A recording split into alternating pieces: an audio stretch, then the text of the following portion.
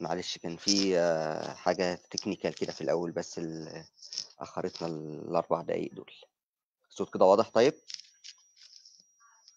حد يأكد عليا الصوت واضح؟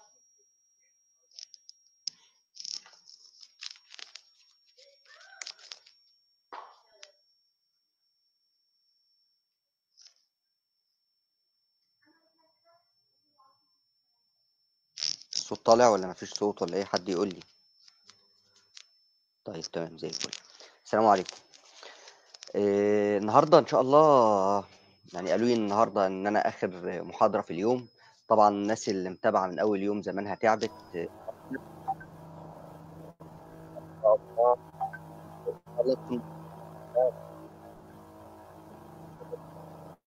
المايك فين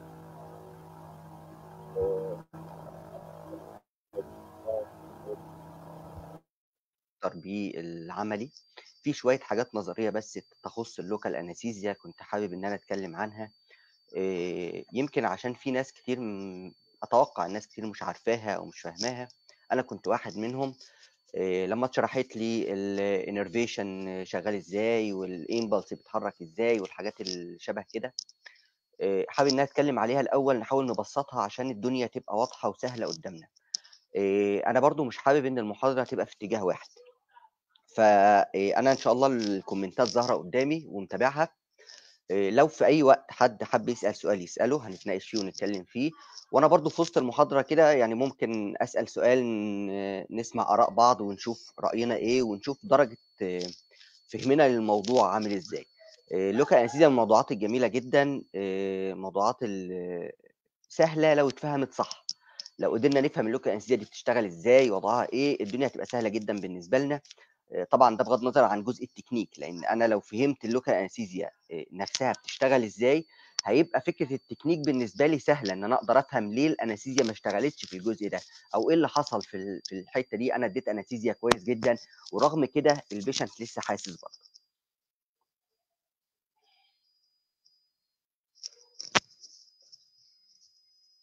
في ناس بتقول الصوت مش كويس. ال- الصوت إيه الأخبار؟ الصوت إيه الأخبار؟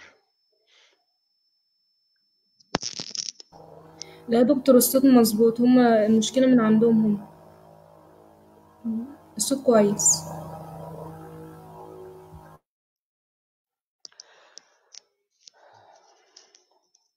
هنبدأ المحاضرة بتاعتنا أو ال lecture آه، طبعا الصورة دي آه، تحمل آه، a lot of mistakes. هنتكلم عنها بعد كده.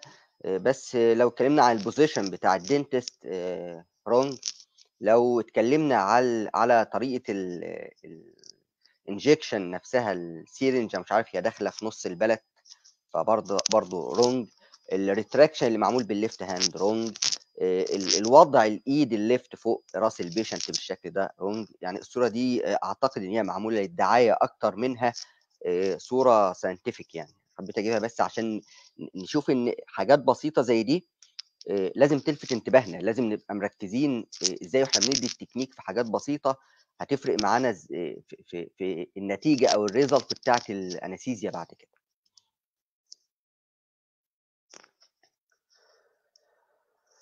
طيب إيه هي ال local anesthesia؟ ال local anesthesia أو technique ال local anesthesia باختصار هو إن أنا أقدر أخدر جزء من الجسم والشخص فايق ببساطة local anesthesia is any technique to induce the absence of sensation in a specific part of the body. أنا بشيل إحساس جزء من الجسم والشخص صاحي وفايق لو الشخص ده بقى unconscious يبقى كده في مشكلة. طيب. إمتى بندي local anesthesia وما نديش general anesthesia حالات كتير.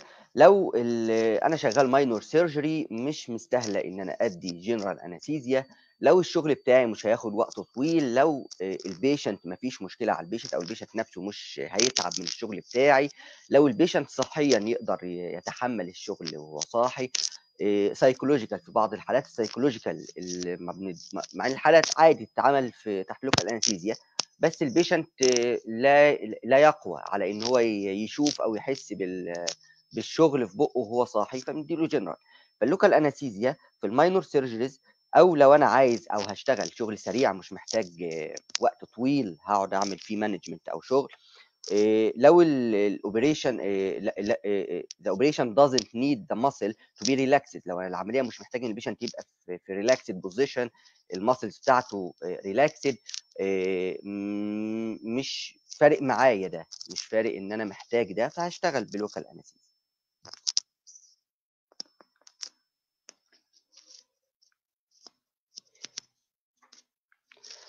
ال innervation بقى لو جينا نتكلم عن ال innervation بتاع ال teeth قبل ما ندخل في ال local anesthesia لازم ناخد hint كده عن عن ال innervation ال maxillary وال mandibular.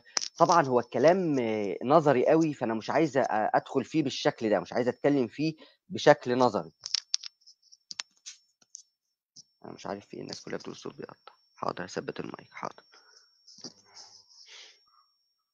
إيه، مش حابب أتكلم فيه قوي بشكل نظري إيه، هاخد hint نظري لكن هتكلم أكتر في الناحية العملية.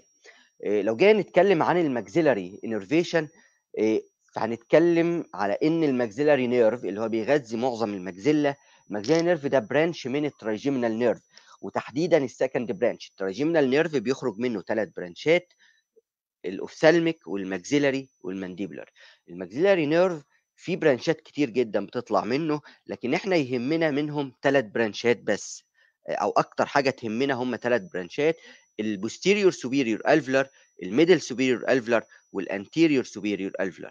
الثلاثه دول أكتر ثلاث branchات في ال maxillary nerve بيهمونا بالإضافة لل terminal branches اللي بتخرج من في آخر ال maxillary nerve في ال area دي من ال infraorbital foramen اللي هم اسمهم superior labial eh, inferior eh, sorry superior labial lateral nasal و inferior palpebral. الثلاثه branches دول مهمين جدا لأن هنتكلم عنهم دلوقتي في بعض ال complications اللي تهمنا جدا. طيب نبص كده. دي صورة ال maxillary nerve. ال maxillary nerve زي ما قلنا هو آه، آه، branchاته كتير جدا لكن إحنا يهمنا ثلاث branchات ال posterior superior alveolar وال middle superior alveolar وال anterior superior alveolar وبعد كده في ثلاثة terminal branches بيخرجوا قدام من عند ال infraorbital foramen مش عارف السهم كده هيبين. أيوه. من عند ال infraorbital foramen ثلاث branchات واحد اسمه inferior palpebral طالع لل lower eyelid وواحد اسمه lateral nasal رايح لل lateral wall of the nose وواحد اسمه superior labial رايح لل upper يهمنا في إيه؟ يهمنا مثلا عشان لما آجي أسألك سؤال وأقول لك لو حبيت أعمل آه، حالة cyst كبير مثلا واخد من عند ال upper lateral لغاية ال upper 5 هدي anesthesia ب technique اسمه إيه؟ الطبيعي في ال maxillary teeth إن أنا لو هخلع upper central أو upper lateral أو upper canine بدي technique infiltration بشتغل ب infiltration technique وتحديدا supraperiosteal technique طيب في حالة زي دي لو أنا اديت infiltration technique عشان أشتغل عملية من ال upper lateral لغاية ال upper 5 أنا هضطر أدي أنستيزيا عند الابر لاترال وأنستيزيا عند الابر كاناين الابر 4 والابر 5 يعني هدي لل patient أربع حقن buccal وأربعة palatal طبعا ده كتير جدا. طب ممكن أستغنى عن ده أو أقلله عن طريق إيه؟ عن طريق إن أنا أدي مثلا حقنة واحدة parallel ما بين ال canine وال four أدخل parallel ليهم لغاية ما أعمل touch bone لما أعمل touch bone يبقى أنا خبطت في ال infraorbital foramen لو حقنت في ال area دي يبقى أنا اديت infraorbital nerve block يبقى أنا خدرت المي- ال- الmiddle superior alveolar وال anterior superior alveolar في نفس الوقت بشكة واحدة. بعد كده أدخل palatal أدي anesthesia لل nasopalatine nerve كده أبقى خدرت ال palatal mucosa من السنترال لغاية ال canine وشكه كمان عند ال upper four وال upper five يبقى كده بدل ما اديله 8 شكات 8 حقن اديته ثلاثة بس. واحدة آه، buccal خدرت ال anterior superior alveolar وال middle superior alveolar واثنين palatal خدرت بيهم ال nasopalatine وجزء من ال greater palatine. فكوني عارف ال innervation ورايح فين وجاي منين ده بيسهل لي إن أنا أقدر أفكر في في طريقة تسهل عليا الشغل وعلى ال patient طبعا دي دي مش الفايدة الوحيدة لكن أنا بتكلم في حتة ال local anesthesia أو الجزء اللي يخص ال anesthesia بتاعتي. طيب إيه لو جينا نتكلم مثلا وحالات كتير بتقابلنا إن ساعات بندي anesthesia لل patient إيه عشان أخلع upper central infiltration عادي جدا بديله buccal infiltration عشان أخلع upper central مجرد ما بدي ال anesthesia ألاقي ال patient يقول لي يا دكتور أنا عيني بقت مقفلة ومناخيري سايبة. أنت اديتني ال anesthesia فين أو اديتني البنج فين؟ فطبعا ال patient بيبدأ يخاف يبدأ يقلق يحس إن في حاجة غلط والدكتور نفسه لو هو مش مدرك فين المشكلة أو إيه اللي حصل برضه بيحس إن في حاجة غلط. بيبدأ ساعتها يقلق وقلقه بيوصل لل patient فال patient قلقه يزيد هي بكل بساطة إحنا لسه قايلين إن إحنا عندنا ثلاثة terminal branches في المنطقة دي.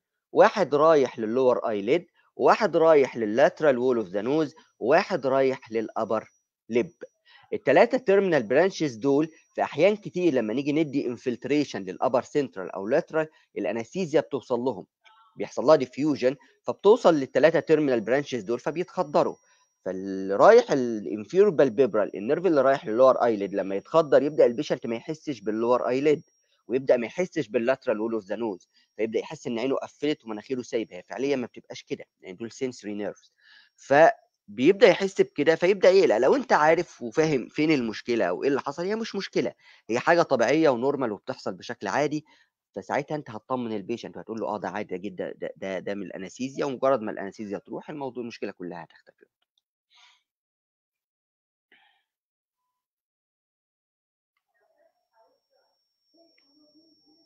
طيب بالنسبة لل mandibular teeth ال mandibular teeth يمكن ال innervation فيها معقد شوية عن ال maxillary لأن ال maxillary إحنا قلنا هم branch ات كتير يهمني منهم ثلاثة أو أربعة branches واضحين وأماكنهم واضحة وسهلة والدنيا بسيطة. ال mandibular وضع مختلف.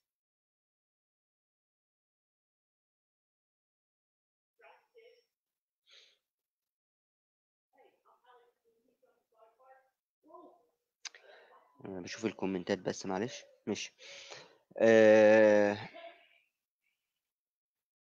فال mandibular innervation معقد شوية آه، متداخل شوية يهمني فيه أكتر من nerve آه، عندي ال inferior alveolar nerve عندي ال lingual nerve عندي ال long buccal nerve عندي ال mental nerve عندي ال incisive nerve وعندي كمان nerve مهم جدا كتير مننا بيهملوه اسمه nerve to mylohyoid طيب هي المشكلة دي أو ال innervation الكتير ده ممكن يأثر لي على إيه؟ أو يعمل لي مشكلة في إيه وأنا شغال؟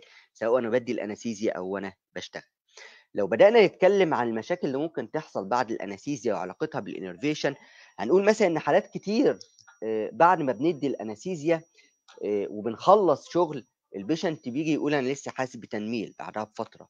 ال anesthesia الطبيعي إنها بتقعد حوالي من ساعة لساعتين شغالة وبعد كده مفعولها بيبدأ يختفي. طيب بعد ساعتين ليه ال patient ممكن يفضل حاسس ب numbness برغم إن أنا الدنيا عندي كويسة وما عملتش مشكلة. اشتغلت اديت anesthesia خلعت مثلا lower 8 ال lower 8 ده كان بعيد عن ال inferior alveolar nerve وبعد ما خلصت بساعتين ثلاثة ال patient بيكلمني يقول لي يا دكتور يعني شفتي مش حاسس بيها خالص لسه في مشكلة لسه في numbness مع إن أنت اشتغلت كويس ما كانش في مشاكل وما كنتش قريب من ال inferior alveolar nerve لدرجة إنك تقطعه. طب إيه المشكلة؟ آه،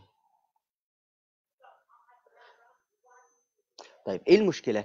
المشكلة إن في أحيان كتير هو طبيعي جدا بعد الجراحة بعد الشغل آه، بنبدأ الجسم البشري يبدأ يتفاعل مع التدخل الجراحي اللي أنت عملته فيبدأ يحصل edema في المكان اللي أنت عملت فيه الجراحة. ال edema دي عبارة عن fluids بتتجمع ما بين الخلايا وبعضها فتبدأ ال- الاديمه دي تنزل لغاية ما توصل لل- للد- لل- لل mandibular canal وتبدأ تضغط على ال inferior alveolar nerve في الحالة دي بيبدأ ال patient يحس ب numbness نتيجة ضغط ال edema على ال nerve برغم إن أنت ما قربتش أصلا من ال nerve في الشغل بتاعك. فلما ال edema تضغط على ال inferior alveolar nerve هيبدأ ال inferior alveolar nerve كله يتخدر أو يبدأ ال patient مش حاسس بحاجة نتيجة ال ال ال الضغط أو ال injury اللي حصلت لل nerve ده. فال inferior alveolar nerve نفسه متخدر بس ال inferior alveolar nerve ماشي جوه ال mandible جوه ال canal وبالتالي هو ال patient مش حاسس بمشكلة في الجزء ال posterior لكن هيبدأ يحس بمشكلة في الجزء ال anterior نتيجة إن ال mental nerve هو branch من ال inferior alveolar ال mental nerve هو كمان حصل فيه numbness فبدأت المنطقة بتاعت ال lip دي كمان تتخدر فدي اللي ال patient هيجي لك يشتكي منها. بس مش معنى إن قال لك إن جزء ال lip ده هو اللي, فيه numbness أو متخدر يبقى ال inferior alveolar نفسه ما فيش فيه مشكلة لأ. هو في مشكلة لكن هو ال patient مش مش المشكلة دي مش مسمعه عند ال patient لأن ال inferior alveolar جوه ال mandible فمش حاسس ال patient بمشكلة.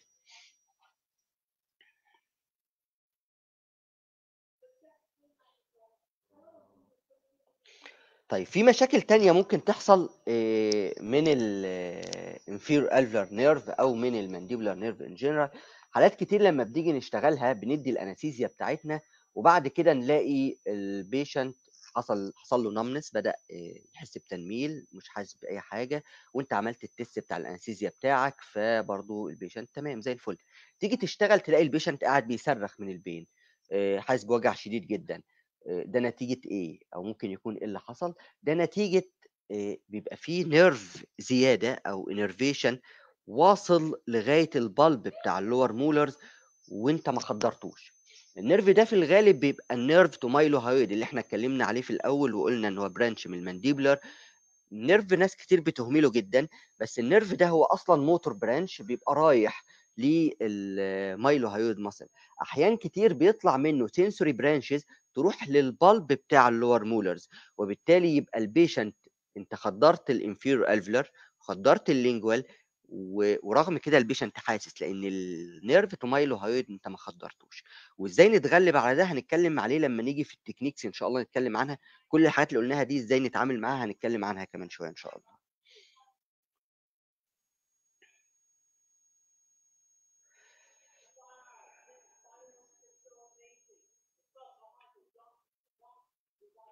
حد عايز نعيد جزء الإديمة جزء الإديمة ببساطة إحنا ادينا الأنستيزيا بتاعتنا واشتغلنا كان مثلا لور 8 بنخلعه وخلصنا العملية بتاعتنا. وبعد كده ال patient روح. ال patient بعد ما روح كلمني بعدها بساعتين ثلاثة قال لي أنا لسه ال lip هنا منملة. الجزء بتاع ال soft tissue ال lip وال chin وال labial mucosa متخدرين مع إن وقت ال anesthesia الطبيعي راح. ال anesthesia بتقعد ساعتين. خلاص عدوا الساعتين وال patient لسه حاسس ب numbness لغاية آخر اليوم وممكن أكتر من كده كمان طبعا. إيه اللي بيكون حاصل؟ اللي بيكون حاصل إن أي تدخل جراحي بينتج عنه إديمة أو معظم التدخلات الجراحية بينتج عنها إديمة. الإديمة ده reaction طبيعي للجسم نتيجة التدخل الجراحي. الإديمة دي هتحصل في مكان ال surgery مكان ال surgery ده اللي هو عند ال lower 8 الإديمة دي fluids فبيحصل لها diffusion ما بين الخلايا وبعضها. فتبدأ تنتشر جوه ال bone لغاية ما توصل لل mandibular canal فتضغط على ال inferior alveolar nerve. الضغط على ال inferior alveolar nerve هيعمل فيه numbness. أي لمس لل nerve هيعمل فيه numbness. فالإديمة عاملة pressure ال pressure ده هيعمل numbness لل inferior alveolar nerve.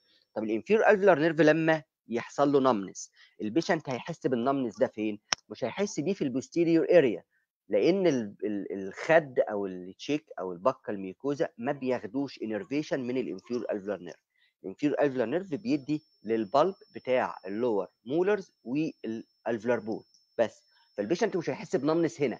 لكن هيبدأ يحس ب numbness من أول ال four من بعد ال mental foramen لأن ال mental foramen بيخرج منه ال inferior alveolar على هيئة mental nerve ال mental nerve بيغذي ال soft tissue ال anterior المنطقة ال anterior دي كلها. فيبدأ ال patient يحس ب numbness في ال area دي. ال numbness ده بياخد فترة الإديمة اللي هي يومين أو ثلاثة لغاية ما الإديمة تخف تروح تحصل لها resolution تختفي ويبدأ الإحساس يرجع تاني في المنطقة دي بالتدريج.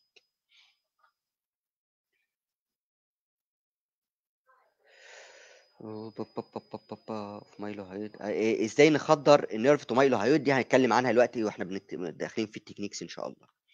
واحدة واحدة عشان اللي جاي تقيل شوية. يعني كل ده كلام بس بنفتح بيه المواضيع. لسه هندخل بالتفصيل في الكلام ده بس قبل ما ندخل بالتفصيل في التكنيك زي ما قلنا لازم نتكلم شوية عن ال impulse وعن ال innervation نفسه. طيب لما نيجي نتكلم بقى على ال nerve العصب حد يعرف ال impulse بتتنقل إزاي across ال nerve على يعني أنا دلوقتي جيت شكيت نفسي بدبوس. إزاي الإحساس ده هيوصل أو إزاي المخ هي هي يحص... هي... هيعمل reaction أو هيحس إن في pain في المنطقة دي؟ إزاي الإحساس ده وصل أو إزاي ال impulse بتوصل؟ كتير مننا بيسمع كتير مننا بيسمع عن حاجة اسمها ال action potential أو ال firing بتاع ال nerve. لكن حد يعرف إزاي بالظبط بيحصل أو إيه الموضوع اللي بيخلي ده يحصل؟ يعني أتمنى لو لو حد عنده رأي يكتبه في الكومنتات عشان زي ما قلت مش حابب إن المحاضرة تبقى في اتجاه واحد بس اللي هو أنا قاعد بقول معلومات ومش عارف ال- ال- ال reaction بتاعكم أو التفاعل بتاعكم عامل إزاي. فمحتاج إن حد ما إحنا آه ال action potential ال action potential بقى بيحصل إزاي؟ قبل ما نتكلم عن ال action potential لازم نتكلم عن حالة ال rest فأثناء ال rest أنا عندي ثلاثة ثلاث أنواع من ال ions هي المتحكمة في الإحساس بتاع ال nerve. ثلاث أنواع دول هم الصوديوم والبوتاسيوم وال chloride. NA plus ده موجب positive وال K أو البوتاسيوم ده positive وثالث حاجة عندي هي ال CL ده negative بره ال nerve على ال outer surface أو من خارج ال- ال cell بتاعت ال- ال nerve إيه، بيبقى الشحنة موجبة. نتيجة وجود الصوديوم بنسبة أعلى من ال CL. الصوديوم موجود بره أكتر من ال CL وبالتالي الشحنة بره بتبقى موجبة. جوه ال nerve الشحنة بتبقى سالبة لأن ال CL موجود أكتر من البوتاسيوم. الصوديوم موجود بره أكتر بوتاسيوم موجود جوه لكن أقل من ال Cl. فالشحنة بتبقى بره موجبة والشحنة جوه سالبة. ال net result بتاعت الشحنة دي بتبقى سالب 70 آه، فولت.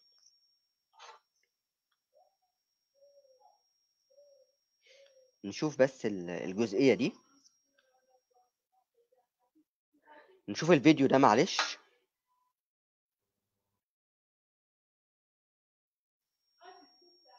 الطبيعي زي ما قلنا.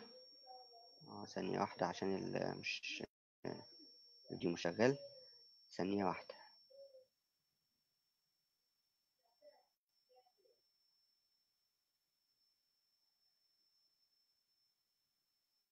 أهو هيشتغل كده.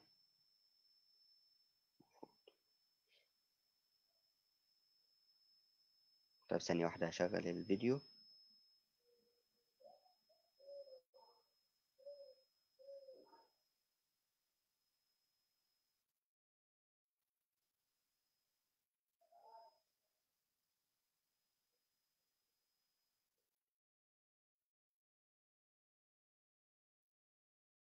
سوري معلش ثواني بس هشغل الفيديو وارجع تاني.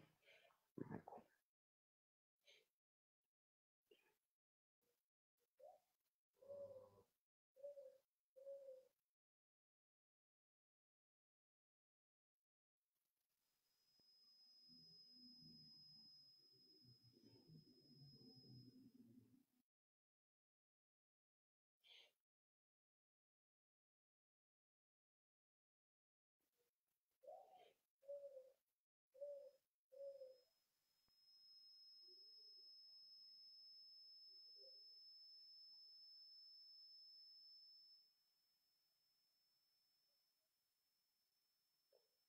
معلش هنعمل share لل screen تاني.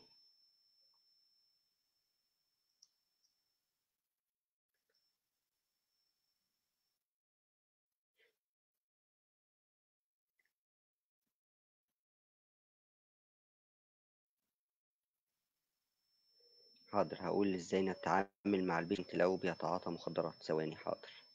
هنوصل لها ونقول حاضر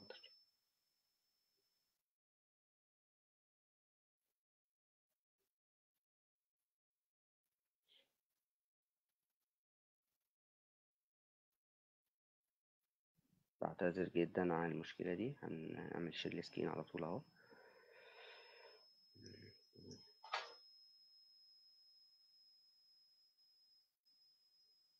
معلش الهوست بس يعمل لي شير للسكرين يعملها اد تو برودكاست يظهرها.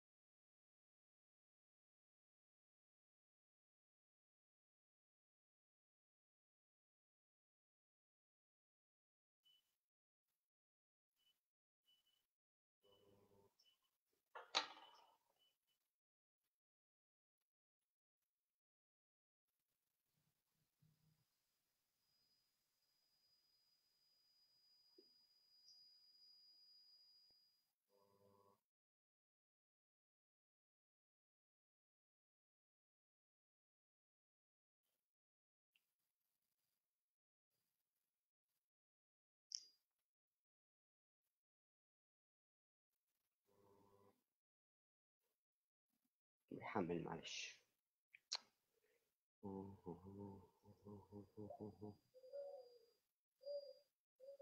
هجاوب على كل الأسئلة حاضر بس نشغل الفيديو بس.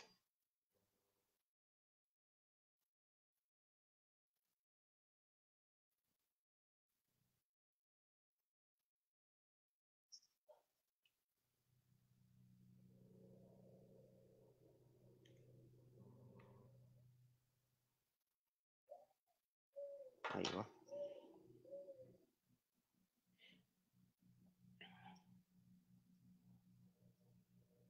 أعتقد كده اشتغل خلاص.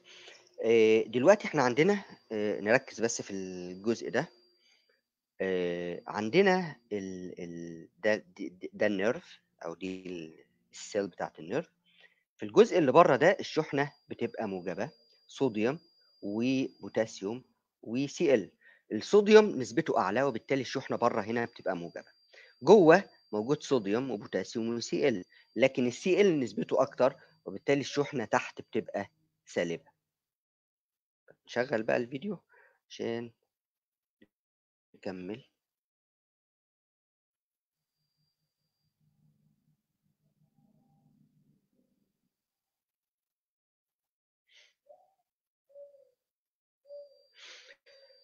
اللي إحنا شايفينه باللون الأخضر ده هي channel أو فتحات أو قنوات عن طريقها بتعدي ال ions بتاعت الصوديوم والبوتاسيوم من بره لجوه وبالعكس. ال channels دي فيها channels مخصوصة للصوديوم و channels مخصوصة للبوتاسيوم. ال channel بتبقى في حالة من ثلاثة يا إما مفتوحة يا إما مقفولة يا إما inactivated يعني قاعدة في حالها هي مفتوحة بس لا بتعدي لا لجوه ولا لبره ولا بأي شكل من الأشكال. اللي إحنا شايفينها دي هي قدامنا هي يعني تصور لل channels بتاعة الصوديوم.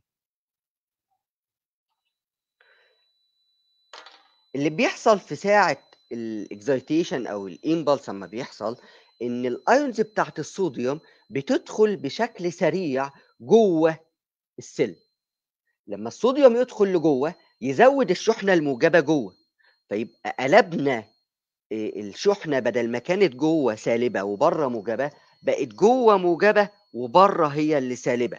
الموضوع ده بيحصل عن طريق إيه؟ الصوديوم ما يقدرش يدخل جوه ال channels كده لوحده. ال channel لازم تتفتح.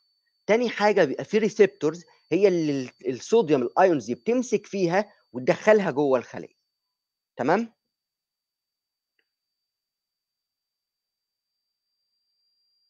كمل الفيديو.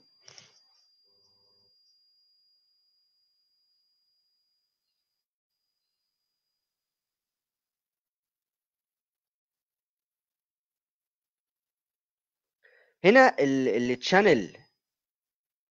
ال- الفيديو بيقطع. أنا حاسس إن الفيديو بيقطع. ده من الأول معلش.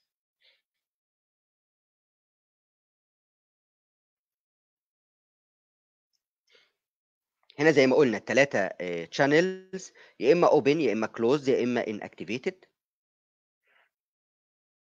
هنا ال- الموف دي ال channel دي البوتاسيوم ودي الصوديوم. الصوديوم هتبدأ تفتح لما يحصل impulse تبدأ ال ions بتاعت الصوديوم اللي هي الموف دي تدخل جوه. فتحول الشحنة موجبة جوه وسالبة برة. أهو زي زي ما شايفين الخط الرسم البياني اللي في الجنب. الشحنة كانت سالب 70 بدأت تعلى تعلى لغاية ما وصلت zero بعد كده بدأت تقلب بالموجب لغاية مرحلة معينة. خلاص وصلنا لمثلا plus إيه إيه 35 أو 30 تبدأ العملية تقف. يبدأ الصوديوم ما يعرفش يدخل جوه. هتتحول لل channel دي ل inactivate تقفل وما تعديش الصوديوم. هتقف دلوقتي. خلاص وقفت. الصوديوم ما عادش هيعرف يدخل جوه. ال nerve عايز يرجع تاني لوضعه ال rest الوضع الطبيعي. يبدأ يحصل إيه؟ تبدأ ال channel بتاعه البوتاسيوم هي اللي تفتح فتطلع لي بوتاسيوم برة. البوتاسيوم اللي هيطلع برة هيرجع يعادل لي الشحنة تاني تصبح برة موجبة وجوه سالبة. بيحصل حاجة كمان يعني مش قضيتنا قوي إن البوتاسيوم بيطلع بزيادة شوية فيبدأ يعدي السالب 70 عشان يرجع تاني سالب 70 يبدأ يرجع تاني يطلع لسالب 70 تبدأ الصوديوم يخرج ويدخل مكانه. دي دي نقطة مش مشكلتنا دلوقتي. لكن هتكلم in general إن اللي بيحصل إن الصوديوم بيبدأ يدخل جوه مع أي impulse أو stimulation والسالب الشحنة السالبة تزيد برة والشحنة الموجبة تزيد جوه. وبعد كده عشان نرجع لمرحلة ال rest تاني يبدأ البوتاسيوم يخرج ويحاول يعادل الشحنة السالبة اللي بره يرجعها موجبة تاني زي الأول عشان ترجع نفس النت ريزلت بتاعتنا سالب 70 في مشكلة لغاية كده؟ إن شاء الله ما فيش مشكلة. الصورة مش ماشية مع الصوت والفيديو بيقطع. طيب نرجع تاني الفيديو؟ رجع تاني الفيديو. وعشان الفيديو تقيل بس شوية فماشي ببطء.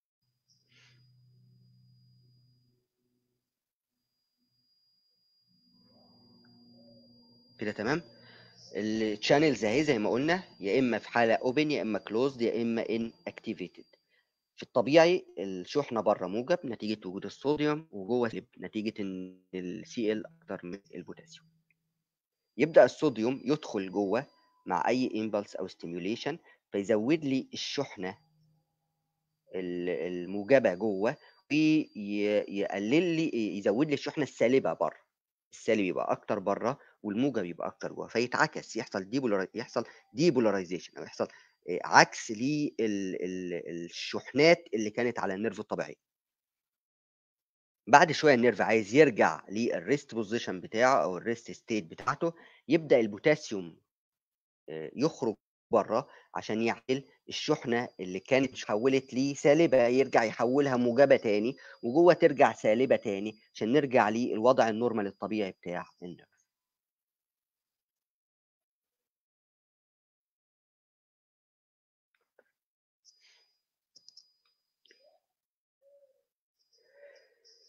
ال local anesthesia بقى بتشتغل إزاي؟ إحنا قلنا عشان الصوديوم عشان ال nerve يحس الصوديوم بيدخل ويرج يخلي الشحنة بره سالب وجوه موجب. طب أنا عشان أشغل local anesthesia أو عشان أحط مادة تقدر توقف لي الحركة دي إيه المطلوب منها؟ المطلوب منها ببساطة إنها تمنع الصوديوم إنه يدخل جوه. ال local anesthesia بتشتغل عن طريق حاجتين. أول حاجة إنها بتعمل expansion لل nerve membrane أو ال cell membrane وبالتالي بتضيق ال channel دي بتخليها صغيرة حتى لما تفتح حصل لها expansion فضاقت فالصوديوم ما يقدرش يدخل جواها. دي أول حاجة. تاني حاجة ال local anesthesia بتتحد مع ال receptors اللي المفروض إنها تمسك الصوديوم تدخله جوه. فال receptor ما يعرفش يشيل غير حاجة واحدة. فأصبح شايل ال local anesthesia فما يقدرش يشيل الصوديوم ويدخله جوه ال cell وبالتالي ال patient أو ال nerve ما يقدرش يحس أو مش هيوصل الإحساس لأن الصوديوم ما عرفش يدخل جوه ال cell عشان يعكس ال polarity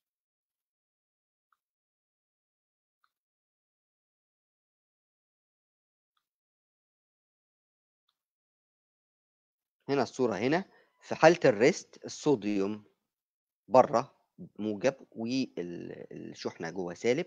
بعد كده في ال firing أو في ال stimulation يبدأ ال nerve ال Na يدخل يخلي الشحنة جوه موجبة وبره سالبة. local anesthesia منعت الصوديوم إن هو يدخل جوه أصبحت بقت في حالة ال local anesthesia زي ال rest مهما حصل stimulation الصوديوم مش هيقدر يدخل جوه الخلية. طيب نبص على برضو فيديو معلش تاني. يوضح لنا الموضوع أكتر؟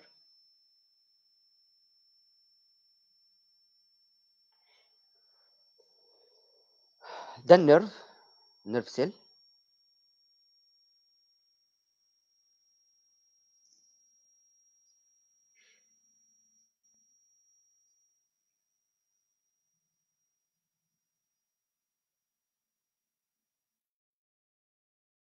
في مشكلة في النت أو في الفيديوهات مش عارف.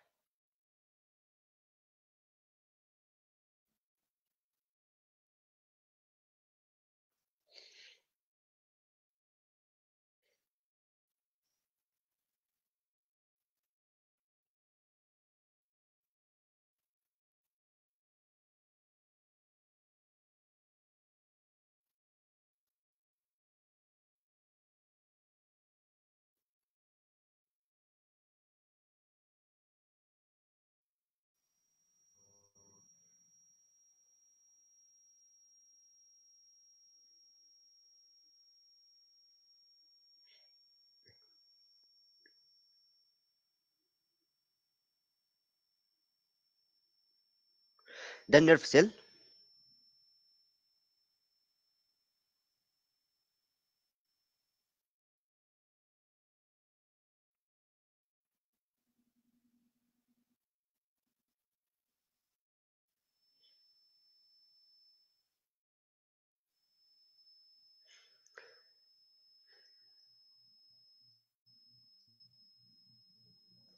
الجزء اللي فوق ده هو خارج الخلية والجزء اللي جوه ده هو inside الخلية. اللي جوه زي ما قلنا هيبقى سالب واللي بره موجب. اللي جوه فيه البوتاسيوم واللي بره فيه الصوديوم.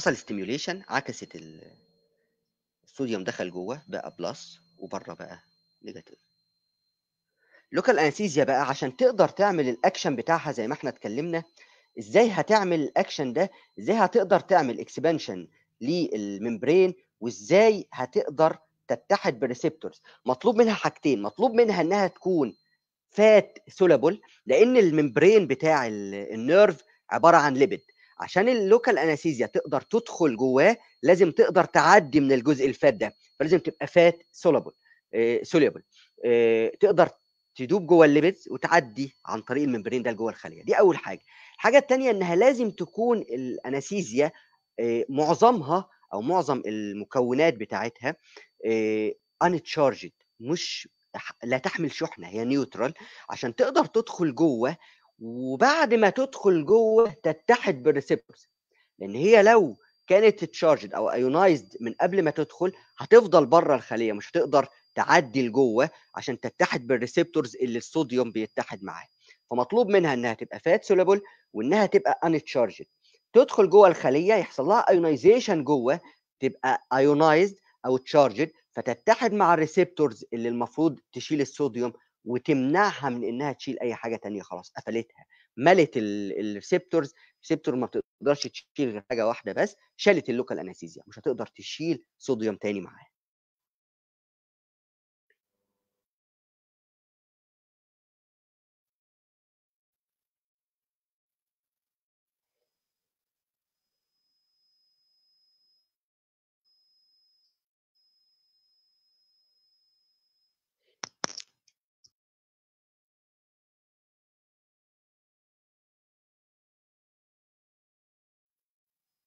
حاضر الفيديوهات أنا هبعتها لل... للناس ال- host ال- على ال group وينزلوها على. على ال group بعد ما أخلص حاضر. أنا عارف إن هي بتقطع مش عارف إيه المشكلة بالظبط بس الفيديوهات بتقطع جامد. فأنا هبعتها لهم ينزلوها حاضر.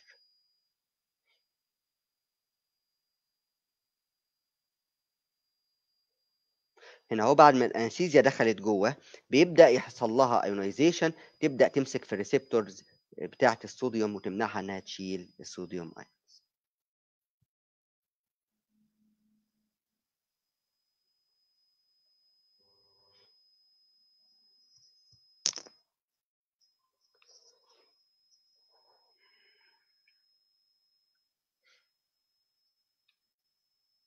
اللوكال أنستيزيا الطبيعية بتاعتنا بتحمل بتبقى تشارجد وان تشارجد كل ما ال local anesthesia ال molecules ال uncharged فيها كانت أكتر ده معناها إن الكمية اللي هتدخل جوه ال- cell أو ال nerve هتبقى أزيد فيبقى مفعول ال anesthesia أكتر.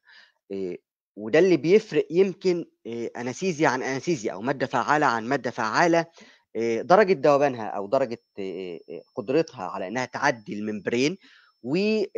وعدد ال molecules اللي فيها ال uncharged أو ال un-ionized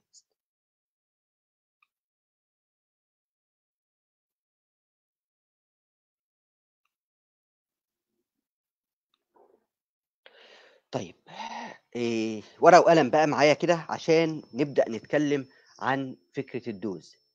ال anesthesia من أكثر المشاكل اللي بتنتج عنها هي ال overdose إن أنا أدي الواحد أفضل أديله انستيزيا زي ما حد كان بيسأل من شوية لو واحد بيشرب مخدرات آآ أو بياخد drugs والأنستيزيا مش شغالة معاه، أدّي له حقنة في التانية، في التالتة، في الرابعة، في الخامسة وأنا شغال وعمّال أدّي، أدّي، أدّي وآآ في الآخر الpatient يحصل له مشاكل نتيجة الoverdose دي.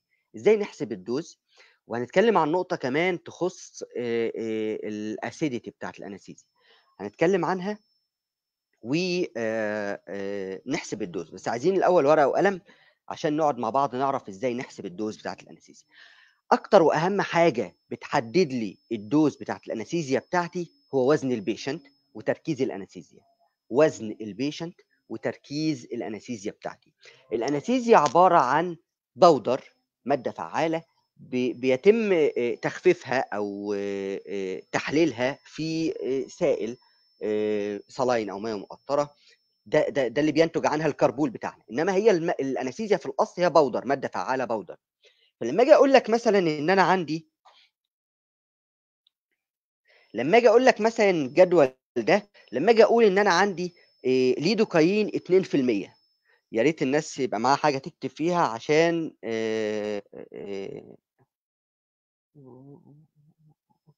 آآ آآ المحاضرة ساعة ممكن تزيد شوية معلش. آآ lidocaine 2% آآ عايز أحسب لو أنا عندي patient وزنه مثلًا 70 أو 80 كيلو جرام، إزاي أحسب الdose بتاعته لو هادّي له الlidocaine 2%؟ الlidocaine ال2% معناها إيه؟ معناها إن كل 100 مليلتر من السائل اللي أنا باخفف فيه الأنستيزيا خف حطيت فيه 2 جرام من المادة الفعّالة بتاعة ال local anesthesia. إحنا اتفقنا المادة الفعّالة هي عبارة عن powder آآ ال powder ده بيتوزن بالجرام والسائل اللي هاخفف فيه ال powder ده بيتحسب بالمليلتر. فكل 100 مليلتر من السائل حطيت فيهم 2 جرام من ال powder. 2 جرام دول لو حبيت أحسبهم بالملي جرام يبقوا كام؟ يبقوا 2000 ملي جرام. يبقى كلمة 2% يعني 2000 ملي جرام من الpowder محطوطين في 100 مليلتر من السائل. حلو كده؟ عرفنا المعلومة دي؟ خلّيها على جنب دلوقتي. الlidocaine كمعلومة علمية الmaximum dose بتاعتها 4.4 ملي جرام لكل كيلو جرام. يعني لو بني آدم قدامك وزنه كيلو تدّي له 4.4 ملي جرام من الpowder من المادة الفعّالة بتاعة الأنستيزيا فقط لا غير. عندنا patient وزنه 70 أو 80 كيلو، قُل 70 مثلًا. يبقى أنا الmaximum dose بتاعته قد إيه؟ هاضرب ال4.4 في ال70. الmaximum dose بتاعة 70 كيلو هي الmaximum dose بتاعة الكيلو في ال70 يعني 4.4 في 70. تطلع تقريبًا 308. يبقى لو بني آدم وزنه 70 كيلو الmaximum dose بتاعته هي 308 ملي جرام من الpowder بتاع المادة الفعّالة. طب أنا ما عرفتش دول كام كربولة برضه، مش أنا الكربول ده قدامي أنا ما أعرفش فيه آآ قد إيه أصلًا مادة فعّالة آآ وما أعرفش أحسب أنا المادة بالمنظر ده. طيب إحنا قُلنا واحد 70 كيلو ما ياخدش أكتر من 308 ملي جرام powder. طيب حلو أوي. 308 ملي جرام عشان أعرف هم يساووا كام كربولة لازم أعرف هم هيتحللوا أو هيتخففوا في قد إيه liquid. إحنا قُلنا إن ال2000 ملي جرام بيتحلّوا أو بيتخففوا في 100 مليلتر. ده معنى كلمة 2% اللي قُلناها من شوية. 2% lidocaine يعني 2000 ملي جرام لكل 100 مليلتر. طب ال308 بقى الmaximum dose ملي جرام يتحطّوا في كام مليلتر؟ نحسب نضرب طرفين في وسطين هنضرب 308 في 100 على 2000. هتطلع تقريبًا أظن 15.4 زي كده أظن يعني. يبقى عندي ال308 ملي جرام يتحطّوا في 15 مليلتر سائل. طب برضه دول كام كربولة؟ 15 مليلتر دول يطلعوا كام كربولة؟ الكربولة فيها قد إيه؟ كام مليلتر؟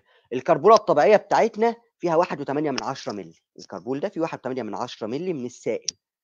فال15 ملي من السائل اللي إحنا حسبناهم الmaximum dose دول يساووا كام كربول؟ نقسم ال15.4 على 1.8 تطلع حوالي 8 كربولات، 9 في ال range ده 8 وشوية.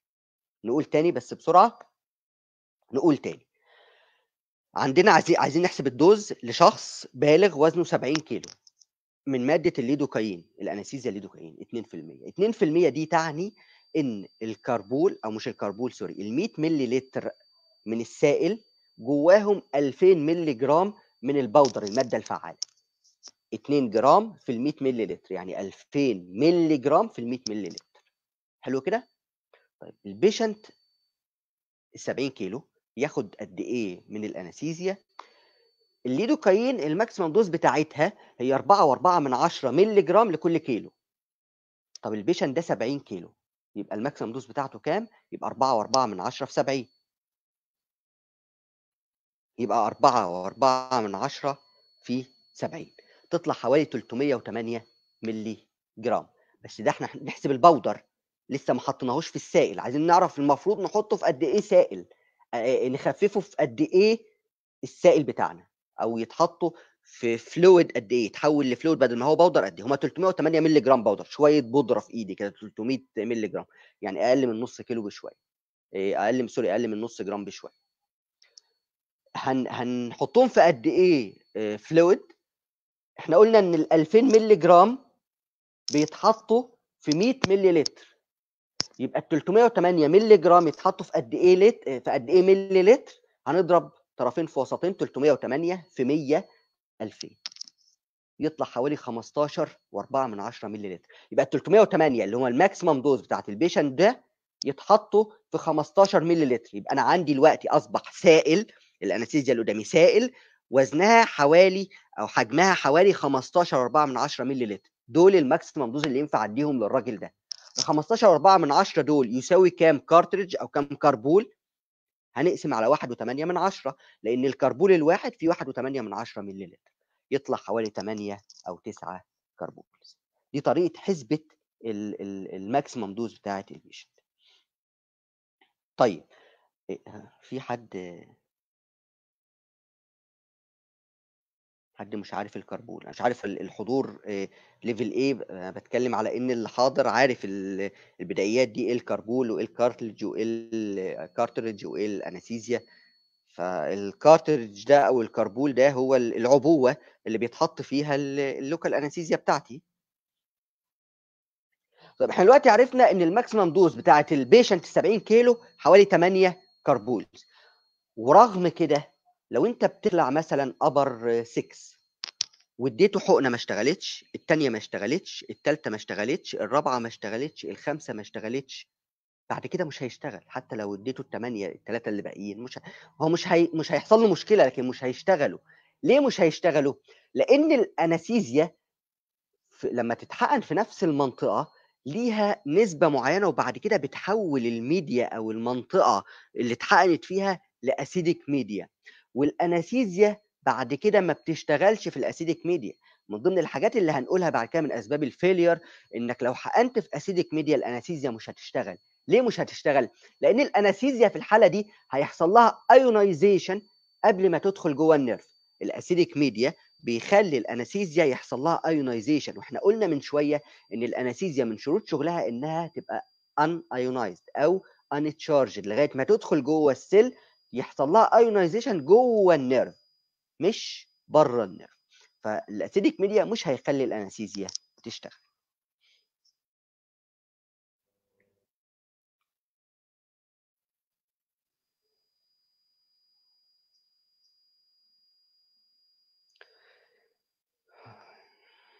طيب ندخل بقى أنواع الأنستيزيا شوية المادة الفعالة. الأنستيزيا بتختلف أنواعها ليها أنواع كتير. كل نوع ليه ميزة وليه عيوب. أكتر نوع إحنا بنشتغل بيه لفترة قريبة هو الليدوكاين الليدوكاين يمكن أكتر حاجة شغالة لأن هي ال efficacy بتاعتها كويسة.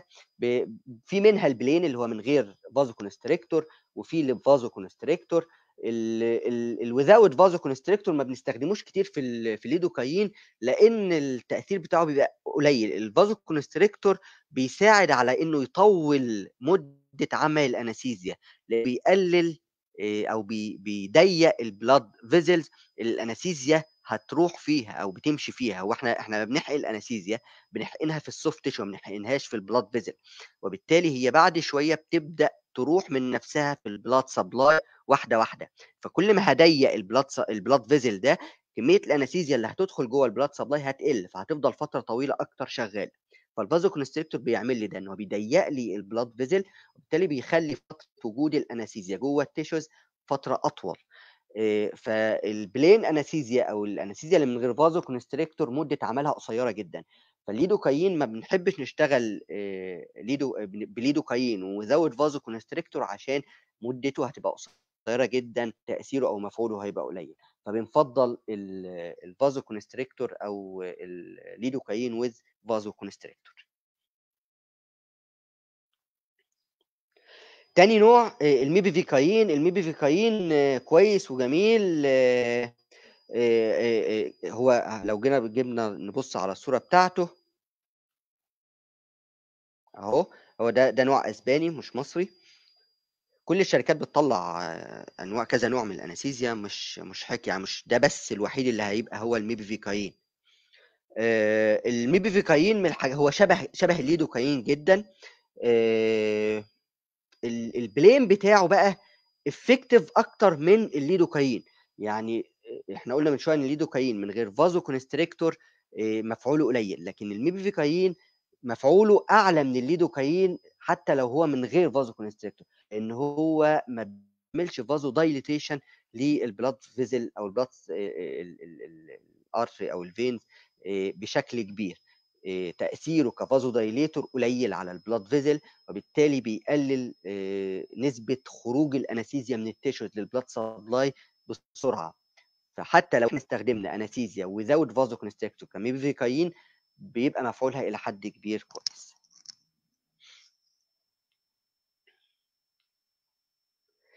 اللي بعد كده ال prilocaine ال prilocaine ضعيف جدا أو مفعوله مش قوي قليل أقل من ال lidocaine وال mepivacaine عشان كده لما بنستخدمه ما بنستخدموش أصلا إلا نادرا يعني بس لو لو هنستخدمه فإحنا بنستخدمه بنسبة أو بتركيز أعلى يعني الليدوكاين بنستخدمه ب 2% إنما ال prilocaine لو هنستخدمه هيبقى 4% زي اللي إحنا شايفينه قدامنا ده.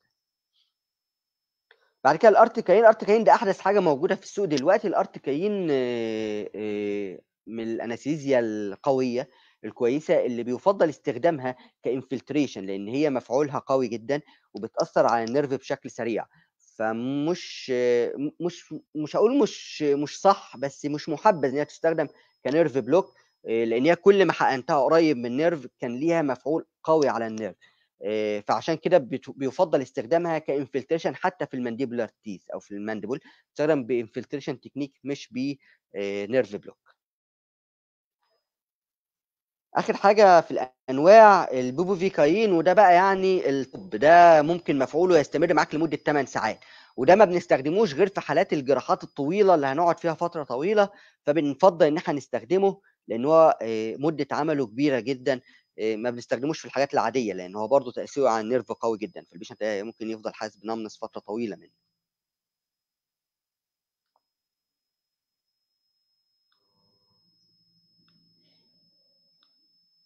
طيب إحنا دلوقتي حقنا ال anesthesia بتاعتنا.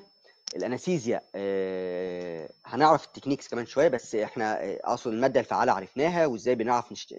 تركيز المادة الفعالة دي إزاي ال maximum dose اللي هنديها لل patient إزاي بقى ال anesthesia دي بيحصل لها metabolism إحنا عندنا نوعين من ال anesthesia ك... كتركيب كيميائي يعني حاجة اسمها ال esters وحاجة اسمها ال amides ال esters نادرا لما بنستخدمها ك local anesthesia في الغالب بتستخدم ك topical anesthesia ال amides معظم ال anesthesia هي ال amides أو متكونة من ال amides اللي هو المقطع caine اللي في الآخر ده ده معناها إن دي amide زي ما قلنا الليدوكاين الميبفيكاين البوفيكاين كل الارتيكاين كل دول من مجموعة ال amides ال amides بيحصل لها metabolism أو بيحصل لها breakdown في ال liver. ودي مشكلة برضو على قد يعني يعني ال esters بتعمل لها أكتر في ال kidney. لكن ال amides بيحصل لها metabolism في ال liver وبالتالي الناس اللي عندهم مشاكل في ال liver بيبقى عندهم مشكلة في في ال metabolism بتاع ال anesthesia. فبتفضل فترة طويلة في جسمهم وده ممكن يؤدي بعد كده لما نيجي نتكلم عن المشاكل ممكن يؤدي ل toxicity نتيجة إن ال anesthesia فضلت فترة طويلة ما حصلهاش metabolism نتيجة المشاكل بتاعة ال liver ال ester زي ما قلنا غالبًا بتستخدم في ال topical anesthesia اللي هي الجل أو المرهم اللي بيتدهن قبل الحقنة، آآ الmetabolism بتاعها بيبقى سريع، ما بيبقاش فيها مشكلة. الأمايدز هي الmetabolism بتاعها معقّد شوية زي ما قُلنا، بيبقى في الliver ومعنى كده إن إحنا لازم نخلّي بالنا كويس جدًا من الpatient لو هو آآ عنده مشكلة في الliver يبقى إحنا نقلل مش هاقول نمنع، إن هو زي ما قُلت تقريبًا 99% من الأنستيزيا الlocal anesthesia اللي موجودة في السوق عندنا هي أمايدز، فمش هنقدر نو ما ندّيلوش أنستيزيا، هندّي له ولكن بكميات محدودة، يعني مش هادّي له بقى أوصل للmaximum dose والكلام ده وأقول ده هو 80 كيلو فياخد 8 حُقن عادي ما فيش مشكلة، لأ طبعًا لازم أقلل الdose على قد ما أقدر، عشان أنا عارف إن ال ال الأنستيزيا اللي أنا حقنتها في جسمه دي مش هيحصل لها metabolism بسهولة، هتقعد فترة طويلة عشان يحصل لها metabolism لأنه عنده مشكلة في الliver اللي هو الأنستيزيا بيتعمل بيح بيحصل لها الmetabolism فيه.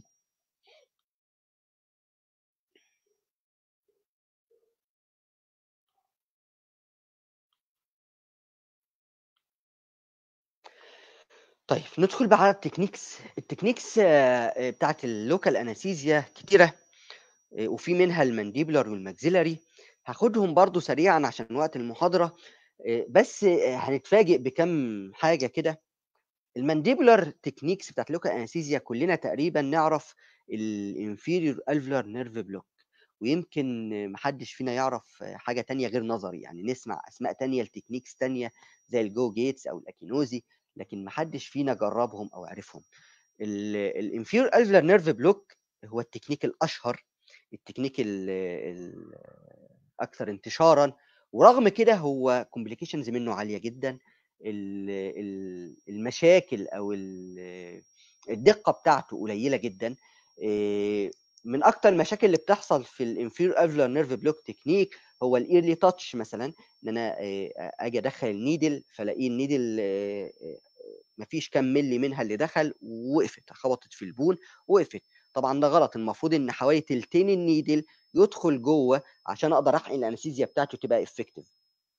تاني حاجة إن في بعض الأحيان أو أحيان كتير بنعمل آآ injection في blood vessel، يعني في بعض الpapers أو الresearches قالت إن حوالي 20% من حالات الinferior alveolar nerve block technique بيتحقن جوّه blood vessel ودي من أخطر ال الحاجات اللي ممكن تحصل، إنك تحقن في blood vessel الأنستيزيا بتاعتك، أو مش مش مش بنحقن في blood vessel لكن بيطلع positive aspiration. هو المفروض إن إحنا قبل ما نحقن بنا بناخد بنعمل aspiration نشوف أنا جوّه blood vessel والّا لأ، هشايف أشوف هل اللي هيطلع معايا دم جوّه السرنجة أو جوّه الكربول والّا لأ، و20% من الحالات بتطلّع positive aspiration.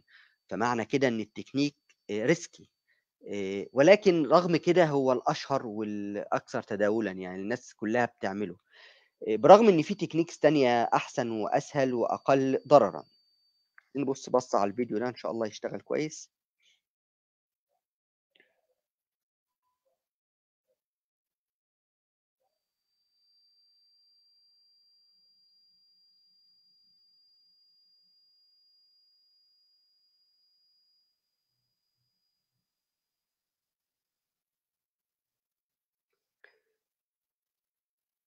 الصورة اللي قدّامنا دي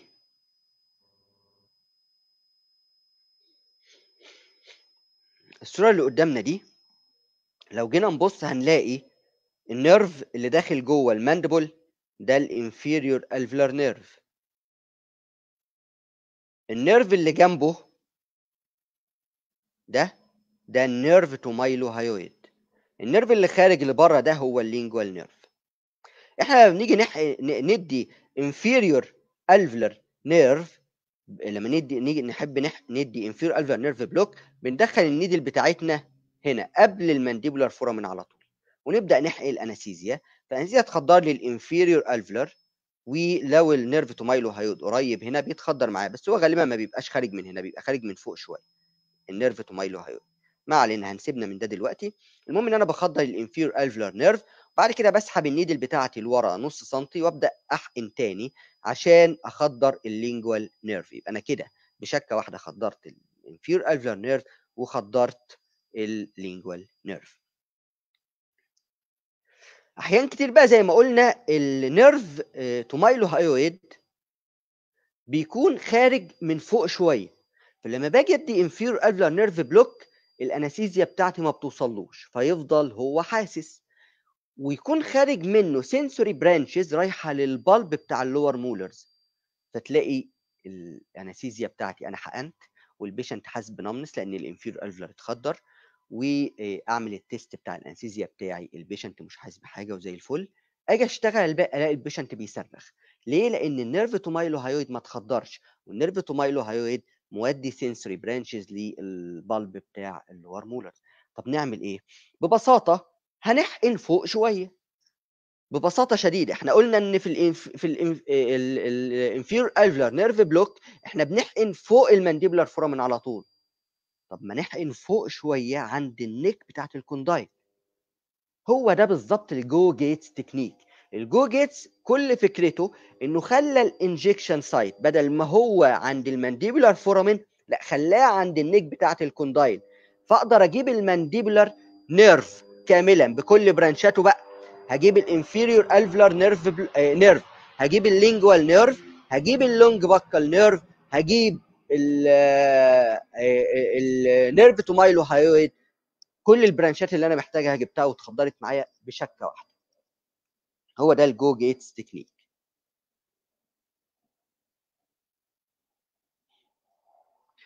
الفكرة كلها إن أنا بحقن زي ما إحنا شايفين قدامنا هنا بحقن في ال neck بتاعة ال condyle. أهو هنا لو جينا نشوف الصورة الثانية رقم B ده المكان بتاع ال inferior alveolar nerve block. رقم A ده المكان بتاع ال Gow-Gates injection ال Gow-Gates technique. لو جينا نشوف C بقى هو الفرق ما بين ال inferior alveolar وال Gow-Gates. هنعمله إزاي؟ المفروض يعني إن إحنا. بندخل ال needle بتاعتنا من تحت ال mesiopalatal cusp بتاع ال upper 7 ونعمل injection برضه تلت حوالي تلتين ال needle يدخل نعمل touch bone ونبدأ نحقن. بس الموضوع صعب. في حاجة أسهل؟ آه في حاجة أسهل.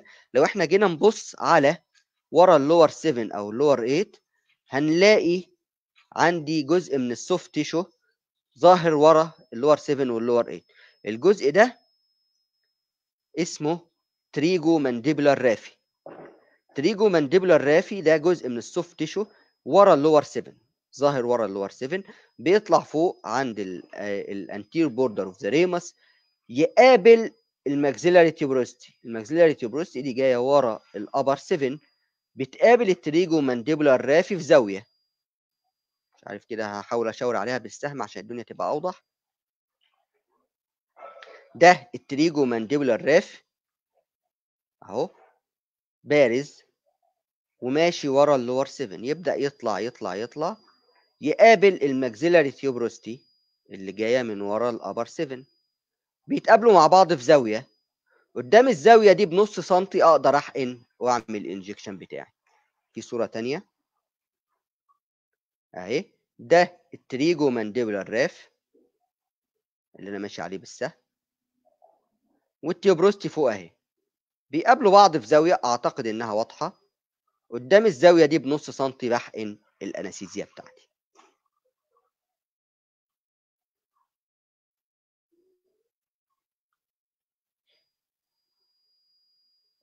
ال Gow-Gates more accurate. ال Gow-Gates بيجيب كل ال innervation اللي أنا خايف منها آه، ال Gow-Gates technique حلو جدا آه، يعني أنا شخصيا ما بقتش بشتغل غير بال Gow-Gates في كل الشغل ما بقتش بعمل inferior alveolar nerve block شغال ب Gow-Gates طول الوقت بدل ما أدي inferior alveolar وقد يشتغل أو يحصل له failure وبعد كده أرجع بقى ساعتها أدي Gow-Gates. طب من الأول أعمل Gow-Gates يكون أفضل بكتير.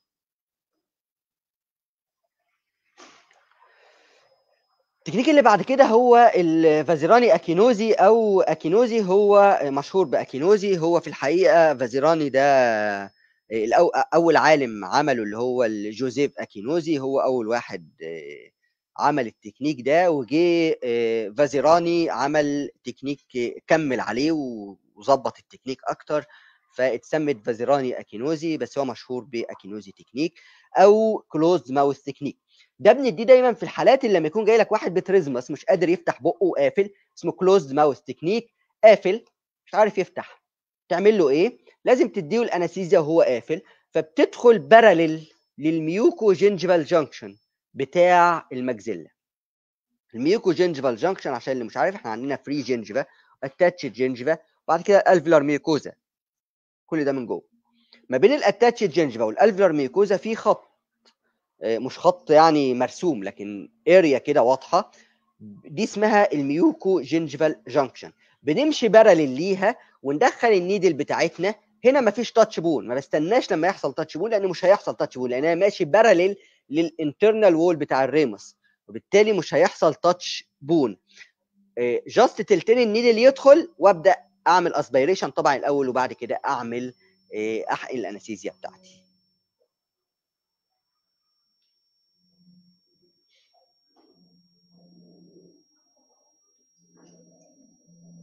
الفيديوهات كلها هسيبها لكم عشان تشوفوها براحتكم لأن ال- الفيديو هنا فيه مشكلة.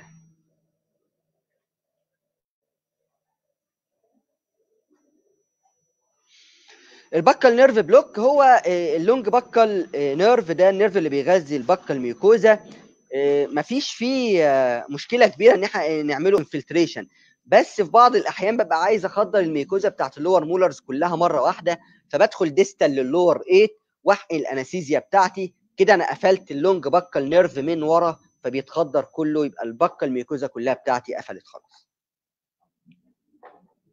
ال long buccal nerve block. هو distal لل lower 8 زي الصورة اللي قدامنا مبينة.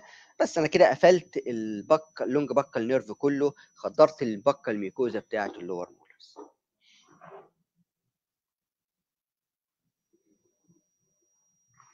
ال mental وال incisive nerve block هو إن إحنا بندخل عند ال mental foramen ما بين ال lower 4 وال lower 5 واحقن ال anesthesia بتاعتي أبقى خدرت ال mental وال incisive nerve بشكة واحدة بس. ما بين ال four وال five بدخل في ال vestibule parallel لل lower 4 و5 just 3 مللي ال needle بتاعتي تدخل هتقوم خابطة هنا عند ال foramen. أبدأ احقن ال anesthesia بتاعتي بحقن حوالي برضو 2 من 10 3 من 10 مللي مش كمية كبيرة بتخدر لي ال mental nerve وال incisive nerve ده تقريبا ال techniques الأشهر في ال mandibular techniques. ال maxillary هو يا infiltration يا يا إما ال- الأصل إن أنا بدي لأي tooth في ال maxilla infiltration طيب لو أنا عندي مشكلة مع ال infiltration أو مش هعرف أدي infiltration لأي سبب أو شغال في area كبيرة. عندي أكتر من technique nerve block أولهم هو ال infraorbital nerve block زي ما قلنا. ال infraorbital nerve block إن أنا بدخل parallel لل canine أو ما بين ال canine وال four لغاية لما أخبط في ال infraorbital foramen وأبدأ احقن ال anesthesia بتاعتي. ال anesthesia بتدخل في ال infra في ال infraorbital canal وتبدأ تخدر ال anterior superior alveolar وال middle superior alveolar في نفس الوقت. في بعض الأحيان بقى بحتاج إن أنا أدي greater palatine nerve block أو posterior superior alveolar دي technique sensitive أكتر شوية آه، وما بنحتاجهاش كتير في ال maxilla يعني بنحتاجها في العمليات الكبيرة قوي آه، إن إحنا ندي maxilla nerve block أو posterior superior alveolar nerve block ال greater palatine هو بندخل في ال foramen ال- اللي قصاد ال upper 7 من ال palatal ونحقن ال anesthesia بتاعتنا بنخدر ال greater palatine nerve nasopalatine nerve block بندخل في ال incisive papilla ما بين ال two centrals palatal لل two centrals و parallel ليهم آه، ما بينهم و parallel ليهم في ال incisive papilla. برضو بدخل ال needle just إن بيحصل touch لل bone وأبدأ أحقن ال anesthesia بتاعتي بيخدر لي ال nasopalatine nerve ال right وال left في نفس الوقت وعشان كده بيطلق عليه bilateral nerve block لأن هو ال nerve block الوحيد اللي بيخدر لي ال both sides ال nasopalatine nerve block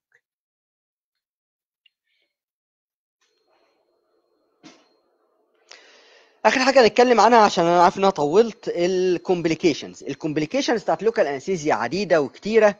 إيه، تبدأ بأسهل حاجة اللي هي ال physical trauma ال trauma اللي ممكن تحصل عندي ممكن تحصل نتيجة ال needle نفسها انه وبتحصل كتير انه انت بتدي ال anesthesia الإبرة بدل ما تدخلها جوه بتقوم آه، آه، معور شفة العيان أو داخل في area غلط وبعدين تظبط نفسك. طبعا ممكن مكان ال- needle دي تبقى في تبقى painful بعد ما ال anesthesia مفعولها يروح.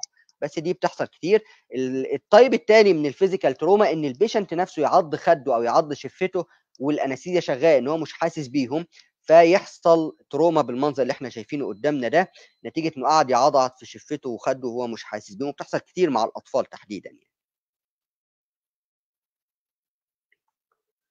تاني حاجة ال chemical trauma ال chemical trauma دي بتحصل مع ال high concentration بتاع ال local anesthesia لو زي ما قلنا في بعض الأنواع لو اديت anesthesia بكمية كبيرة قريب من ال nerve ممكن تعمل injury لل nerve chemical trauma وخصوصا لو ال anesthesia دي كانت المادة الفعالة بتاعتها قوية فما زي ما قلنا ما بنحبش إن إحنا نحقنها ك nerve block عشان ما تأثرش على ال nerve.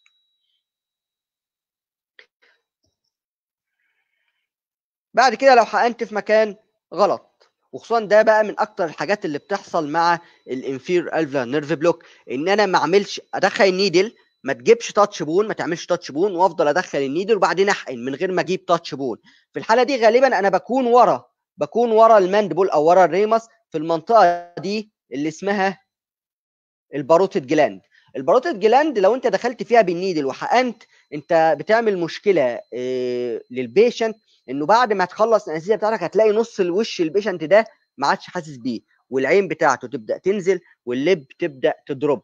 ده نتيجة إيه؟ نتيجة إنك حقنت جوه ال parotid gland وال parotid gland ماشي فيها ال facial nerve ماشي جواها ال facial nerve فأنت خدرت ال facial nerve بدون ما تاخد بالك. طبعا هو هو ده أنت كده ال anesthesia بتاعتك مبدئيا ما اشتغلتش أنت ما خدرتش ال inferior alveolar لكن الأخطر من كده ال patient هيقلق جدا وقلق ال patient هيخليه يتوتر ويتهور وممكن يعني يعمل أي حاجة غير متوقعة يعني لو أنت ما ردتش عليه وفهمته ممكن يقوم يضرب يعني لو لقيت لو ال patient أنت مديله anesthesia عشان تخلع له lower molar مثلا lower 6 وفجأة لقى إن عينيه نزلت وشفايفه نزلت ومش حاسس بنص وشه وأنت مش عارف ترد عليه تقول له ده إيه. هو ببساطة المشكلة دي كلها هتروح مع فترة زوايا الأنستيزيا. الأنستيزيا هتاخد لها من ساعة ونص لساعتين المشكلة هتروح خلاص. بس لازم أنت تبقى عارف ده وتفهمه له عشان هو ما يقلقش.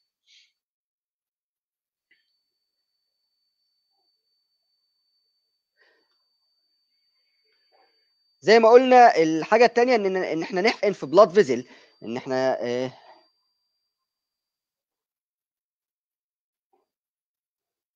إن إحنا نحقن في ال blood vessel وزي ما قلنا مع ال inferior alveolar nerve block النسبة دي حوالي 20% إن تيجي تعمل aspiration تلاقي نفسك جوه blood vessel فلو أنت ما عملتش aspiration وخدت بالك هتحقن جوه ال blood vessel وده غلط جدا إن هو بيعمل complication جامدة جدا. systemic يعني ممكن يعمل مشاكل cranial ومشاكل systemic جامدة. هنتكلم عنها كمان شوية. ال complication اللي بعد كده هي ال toxicity وال toxicity زي ما قلنا بتيجي نتيجة حاجتين. يا إما إن أنت اديت overdose يا إما إن أنت حقنت جوه blood vessel والمشكلتين أخطر من بعض. ال toxicity بتحصل نتيجة ال local anesthetic agent نفسه اللي هي المادة الفعالة ال powder اللي اتكلمنا عنها أو ال vasoconstrictor لو المشكلة اللي عندك نتيجة ال local anesthesia يبقى مطلوب منك مجرد ما تبدأ تشوف أعراض ال toxicity ال patient بدأ يحس بقلق بدأ يتوتر بدأ يعرق بدأ ي faint بدأ يحصل له consciousness بدأ يفقد الإحساس باللي حواليه تبدأ تعرف إن ده بدأ يدخل في toxicity ساعتها على طول لو أنت ال toxicity دي من ال local anesthetic drug نفسها أنت حقنت كمية كبيرة مثلا فال toxicity نتيجة ال local anesthetic drug تبدأ تنيمه عشان ال blood يوصل للمخ فيبدأ يفوق وطبعا توقف شغل تماما.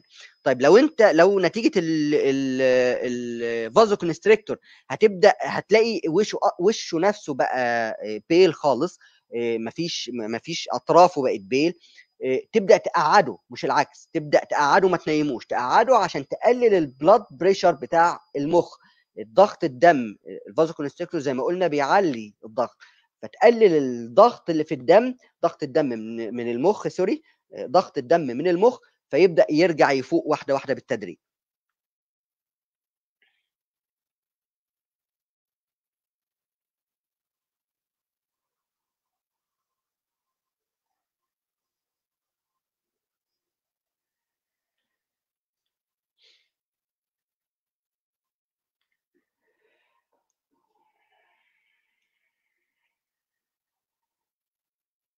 زي ما قلنا أسباب ال toxicity يا إما intravascular injection أو overdose أو ال patient مش قادر يعمل metabolism لو عنده مشكلة في ال liver زي ما قلنا.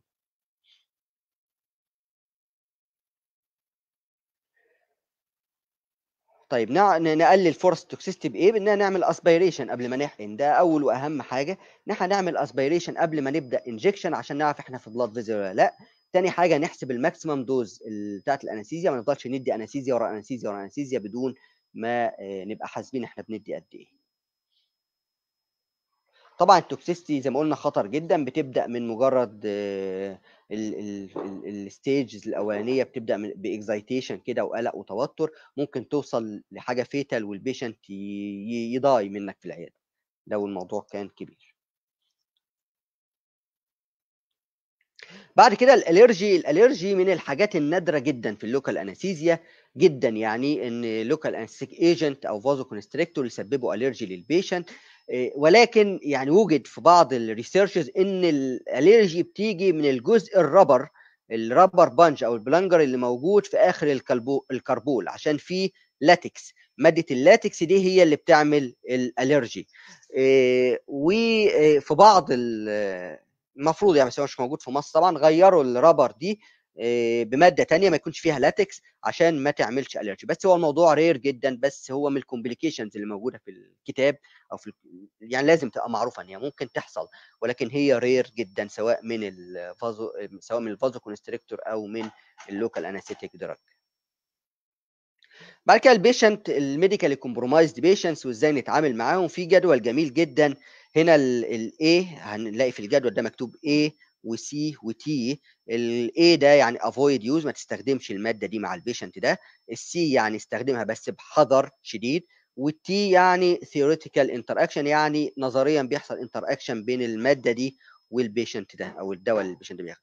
هنا مثلا لما نيجي نبص على الجدول لو جينا نبص على أول حاجة ال unstable angina أول حاجة ال medical condition unstable angina بيقول لك avoid use ال epinephrine مع ال unstable angina. ما تستخدمش vasoconstrictor epinephrine مع ال unstable angina.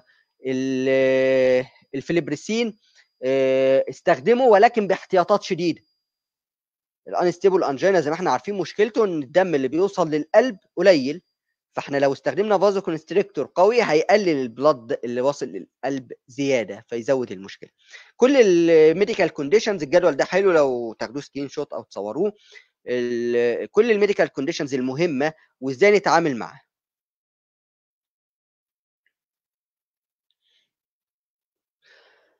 إيه، آخر حاجة هتكلم عنها بقى هي ال failure. ال failure أسبابه كتير إن أنا اديت anesthesia وما اشتغلتش. ممكن يكون نتيجة anatomical ال patient ده عنده مشكلة anatomical مش مشكلة يعني عنده variation يعني. ال ramus مثلا الزاوية بتاعته مش مش اللي إحنا عارفينها مع ال body of the mandible بالتالي أنا باخد ال landmark واحقن فبتيجي بعيد عن ال site المفروض أحقن فيه. لو ال mandible ال bone بتاعه compact قوي وأنا جيت اديت infiltration لو أنا عندي مشكلة أصلا في ال nerve زي ما إحنا قلنا إن أنا عندي nerve زيادة مدي sensory لمكان أنا مش متوقع إن هو يديله زي ما قلنا في حالة ال mylohyoid nerve إن هو بيدي لل- لل lower molar sensory branches وهو أصلا motor nerve فدي حاجة غير متوقعة لناس كتير فما بيبقاش ما بيبقاش عامل حسابه فده دي anatomical variations قد تكون موجودة في بعض ال patients. تاني حاجة غ- آه، غير ال anatomical causes يعني عندنا ال pathological إن ال patient نفسه يكون عنده مشكلة تمنع ال anesthesia تشتغل ال- المشاكل اللي ممكن تكون زي كده مثلا ال trismus إن واحد ما بيقدرش يفتح بقه فأنا مش هعرف إن أنا أحقن له ال anesthesia بتاعتي وأقدر أشتغل له فده خلاص. أو واحد يكون عنده abscess فمش هينفع أحقن في ال abscess ينفع أتحايل على الموضوع إن أنا أحقن في area تانية. غير اللي فيها ال pus لكن في المنطقة نفسها اللي فيها ال abscess ما ينفعش أحقن لأن ال abscess ده زي ما قلنا acidic media فهيخلي ال anesthet- ال local anesthesia يحصل لها ionization من قبل ما تدخل لل nerve بالتالي مش هتشتغل أصلا. ب- بعمل techniques تانية بقى يعني بدخل آه، آه، أعمل حاجة اسمها ring block حوالين ال- ال abscess ده أحقن ال anesthesia بتاعتي حوالين ال abscess من جميع الاتجاهات وأشتغل أو ادي nerve block على طول في area تانية. تخدر لي ال nerve اللي أنا عايز آه، أشتغل في المنطقة بتاعته. آه، بعد كده ال psychological وال technical psychological ده لأن التوتر والقلق بتاع ال patient نفسه من الحاجات اللي بتقلل مفعول ال anesthesia بشكل كبير جدا. ال technical إن أنت أصلا اديت ال anesthesia ب technique مش مظبوط. يعني أنت مثلا جبت early touch أو ما عملتش touch خالص أو اديت ال anesthesia في مكان مختلف عن المكان المفروض تتاخد فيه. إيه، صورة بس في الآخر. عايز أفرجها لكم عشان كتير مننا ما بياخدش باله منها خالص. الصورة اللي قدامنا دي. آه، كتير مننا بيجي يدي ال anesthesia بتاعته وبعد ما ال patient يروح والمفعول ال anesthesia يروح ال patient يشتكي شكوى شديدة جدا من مكان الحقنة بتاعه ال anesthesia. يحصل فيها ulcer أو يبقى فيها pain شديد أكتر من ال pain اللي, اللي موجود نتيجة الشغل أصلا. آه، ده بيكون ليه؟ بيكون نتيجة إنك أنت دخلت ال needle وعشان تدي مثلا inferior alveolar nerve block ودخلتها أو حتى في ال infiltration لو أنت بتدي infiltration دخلت ال needle عملت touch bone وبعدين لقيت إن المكان غلط أو مش مظبوط فخرجت ال needle دخلت ال needle تاني عملت touch bone خرجت ال needle دخلت ال needle تاني عملت touch bone اللي قدامنا دي الصورة اللي على الشمال دي صورة ال needle قبل تحت ال electron microscope قبل ما تحقن بيها أو تدخلها. الصورة الثانية بعد ما تلمس ال bone. just إنها عملت touch لل bone ال anesthesia بيح... ال... ال... ال needle بيحصل فيها كده. وبالتالي لما تيجي تدخلها تاني هتبقى painful للعيان لأن ما بقتش sharp أو pointed زي الطبيعي بتاعها. دي من لمسة واحدة لل bone. واحد عمل touch bone مرة وخرجت.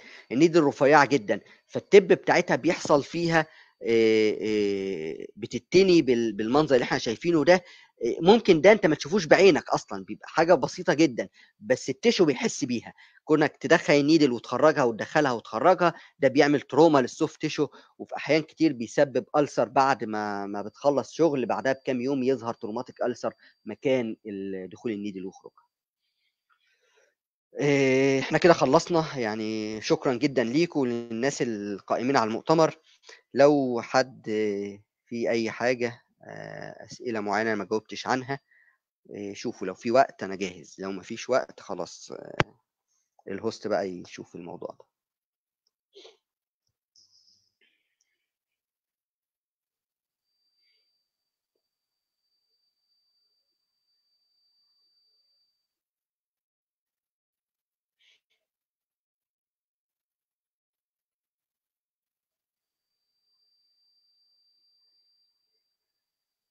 في أي حاجة ال host فين؟ طيب يقول لنا في حاجة ولا في ولا نعمل إيه؟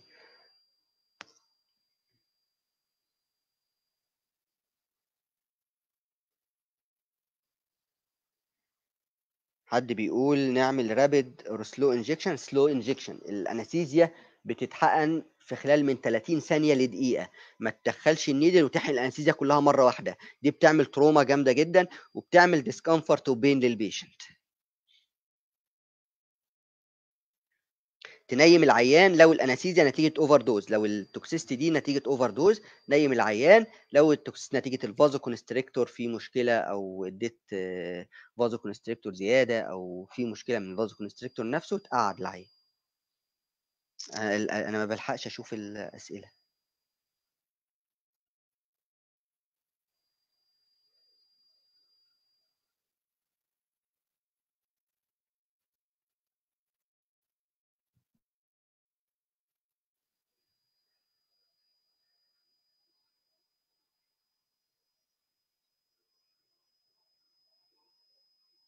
حد بيقول لو آه، حصل إن ال needle اتأثرت وال patient حس بألم آه، آه، اتصرف إزاي عشان أمنع تكون ال ulcer؟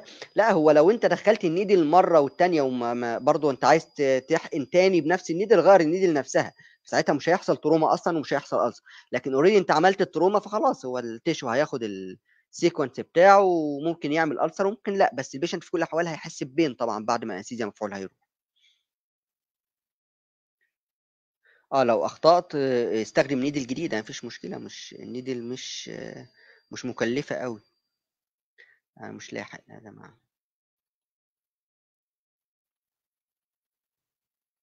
جزئية ال patient والمخدرات. أنا أنا كنت بتكلم على فكرة إن إن واحد بياخد drugs فأنت اديته anesthesia مش شغالة فتكرر له آه، أكتر من من حقنة. هي الفكرة اولا إن اللي بياخد drugs ده ال anesthesia مش مش هتشتغل معاه هي هتشتغل بس هو ال drugs اللي بياخدها خلت ال pain threshold بتاعه عالي وبالتالي ال anesthesia محتاج كمية أكبر أو تركيز أعلى من ال anesthesia فاخترت نوع تاني من ال anesthesia بتركيز أعلى شوية أو اديله بدل carpule two carpules بس أنا بتكلم لو أنت اديته واحد في اثنين في ثلاثة في أربعة في خمسة في ستة في سبعة إحنا قلنا ال maximum dose 8 فواحد يقول أنا ممكن اديه 8 ماشي أنت هتديه 8 ال patient مش هيحصل له مشكلة لكن ال anesthesia بعد ال carpule الخامس مش هيبقى لها مفعول مش هتشتغل أصلا لأن ال anesthesia نفسها بتحول الوسط اللي اتحقنت فيه ل acidic media وال anesthesia مش ما بتشتغلش في acidic media. فالخمسه carpules اللي أنت حقنتهم خلوا الوسط acidic. الحقنة السادسة هتتحقن في وسط acidic مش هتشتغل لأن يحصل لها ionization قبل ما تدخل جوه ال nerve. لما يكون في pus أو abscess ادي ring block حوالين ال abscess مش جوه ال abscess حواليه لو أنت في ال maxilla أو ادي nerve block technique ايا كان بقى أنت شغال في أنهي area لكن ممنوع إنك تحقن جوه ال abscess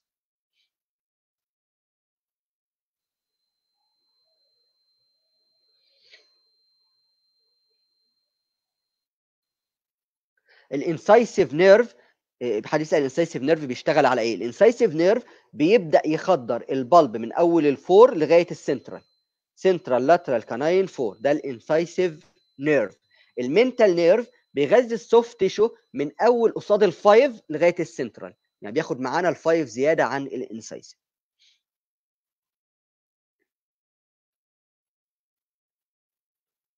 التخدير مع مرضى القلب والسكر لو سمحت. التخدير مع مرضى السكر ما فيش فيه أي مشكلة. احقن ال anesthesia بتاعتك بال vasoconstrictor عادي خالص ما فيش أي مشاكل. ال anesthesia مع مرضى القلب حسب المشكلة اللي عنده. لو هو hypertensive patient مثلا حسب الضغط بتاعه. الضغط بتاعه stage 1 ولا 2 ولا ولا في أنهي مرحلة من ال hypertension لو هو already في مرحلة متوسطة يعني بنتكلم مثلا لغاية 160 ضغط على 120 أو 100 بلاش 120 من 160 ل 100 فإحنا بنتكلم إنك تتعامل معاه عادي. أكتر من كده اديله anesthesia with vasoconstrictor بس maximum carpule أو 2 carpules ما تزودش vasoconstrictor عايز تديله anesthesia زيادة اديله anesthesia زيادة لكن plain without vasoconstrictor بقيه مرضى القلب. إحنا عندنا بقية ال categories إلى حد ما طبيعية ما عدا ال unstable angina زي ما إحنا شرحنا في الجدول. ال unstable angina ما تديلوش vasoconstrictor لأن هو already عنده مشكلة في في توصيل الدم للقلب. فأنت لو اديته vasoconstrictor كمية الدم اللي وصل القلب هتقل زيادة فهيحصل له مشكلة جامدة جدا. فال unstable angina ما تديلوش vasoconstrictor اديله anesthesia plain without vasoconstrictor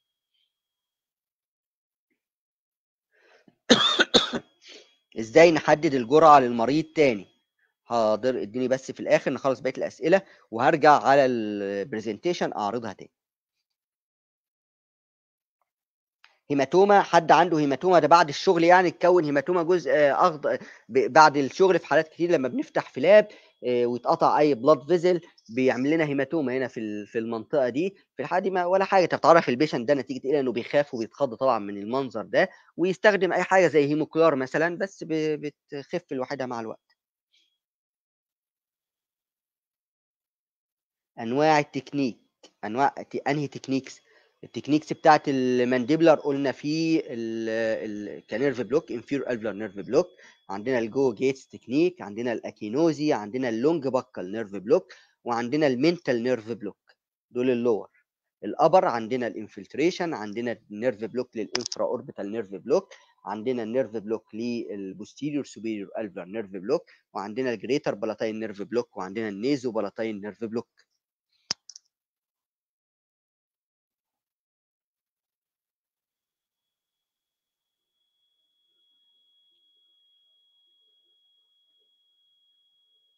إحنا قلنا لو شخص بياخد drugs واديته anesthesia ولسه حاسس عندنا حلين يا إما ازود له ال dose يا إما اديله supplementary technique في بعض ال techniques ال supplementary اللي ممكن نضيفها على الشغل بتاعنا أو على ال anesthesia بتاعتنا بتجيب مفعول رائع جدا أشهرهم ال intrapulpal وده لو أنا شغال endo فتحت access وال patient لسه حاسس بوجع لما باجي أعمل filing أدخل ال needle بتاعتي جوه ال pulp وأحقن ال anesthesia بتاعتي. ده بيجيب من الآخر بس طبعا دخول ال needle جوه ال pulp دي أو جوه ال pulp chamber بتتحسس ال patient pain جامد بس يتحمله بقى وابدأ يحقن ال anesthesia بتاعتك. التكنيك الثاني اسمه intraligamentary intraligamentary أنا بحقن ال anesthesia بتاعتي في ال periodontal ligament space ما بين ال bone وما بين ال root بدخل ال needle بتاعتي parallel لل crown لغاية ما يحصل touch bone وتقف أبدأ احقن ال anesthesia بتاعتي. ودي ليها syringe مخصصة اسمها intraligamentary syringe عشان تقدر آه، تقا... تساعد في مقاومة ال pressure اللي موجود عندي. لأن ال periodontal ligament space ضيق جدا فال anesthesia عشان تدخل جوه ال periodontal ligament space وتعدي بيبقى في مقاومة شديدة ليها. فمحتاج سرنجه معينة syringe معينة عشان أقدر احقن ال anesthesia بتاعتي.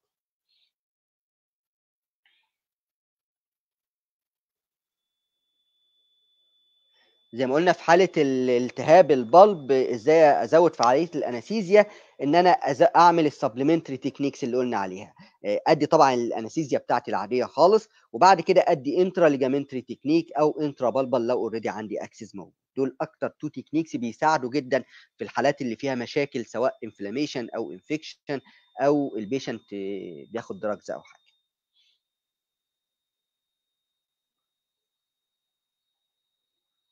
الصورة اللي في الأول فيها أخطاء هوضحها برضو لما نرجع هرجع ال presentation تاني معلش. ك- إيه، كثرة شرب الشاي والقهوة بتقلل تأثير البنج دي معلومة مش صحيحة. لكن زي ما قلنا أقصى مفعول ليها إنها تزود ال pain threshold بتاع ال patient إيه، بتخلي ال- الأعصاب بتاعته منتبهة بشكل أعلى من الطبيعي. بس مش لدرجة إنها تأثر على البنج.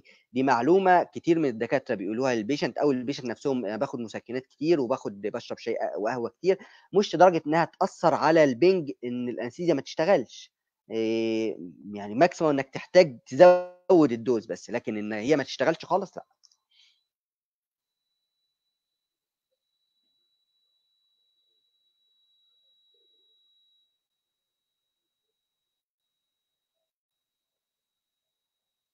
ثواني ثواني ثواني أنا مش الهيموكلار ده مرهم بيدهن على ال cheek من بره حاجة topical يعني. When I need to inject mylohyoid and how زي ما قلنا ال mylohyoid nerve أنا بحتاج اخدره لو هو مودي sensory branches لل pulp بتاع ال lower molars. أنا مش هعرف ده فعليا إلا لو اديت alveolar nerve block ولقيته ال- ال anesthesia شغالة بس ال patient حاسس بعد ما بشتغل فكده يبقى في innervation تاني واصل لل pulp. فأنا مش هعرف ده قبل ما أحقن. فالأفضل إن أنا من الأول أحقن Gow-Gates كده ضمنت إن ال nerve to mylohyoid اتخدر سواء بقى كان موصل لل pulp بتاع ال lower molars أو لأ.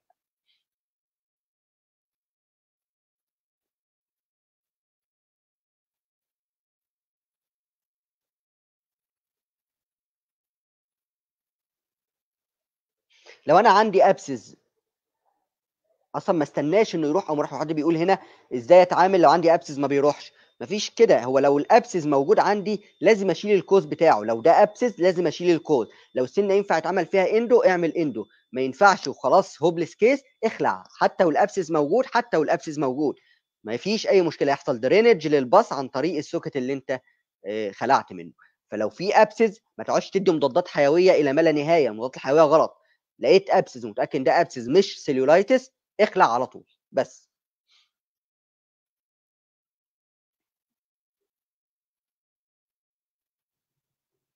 لو آه، السن لو دخلت ومش تلتين ال needle داخل في inferior alveolar nerve block technique لو تلتين ال needle ما دخلش آه، برجع واعمل أدخل indirect وبعدين أرجع تاني آه، أو أخرج خالص وأرجع أدخل ال needle تاني. حسب الاريح لك لو تعرف تعمل indirect ان إحنا بنسحب ال needle لورا ونبدأ بدل ما إحنا داخلين من فوق ال premolar area بتاعت ال other side بنسحب ال needle شوية ونظبط فوق ال anterior area هنا كده. وأبدأ أدخل.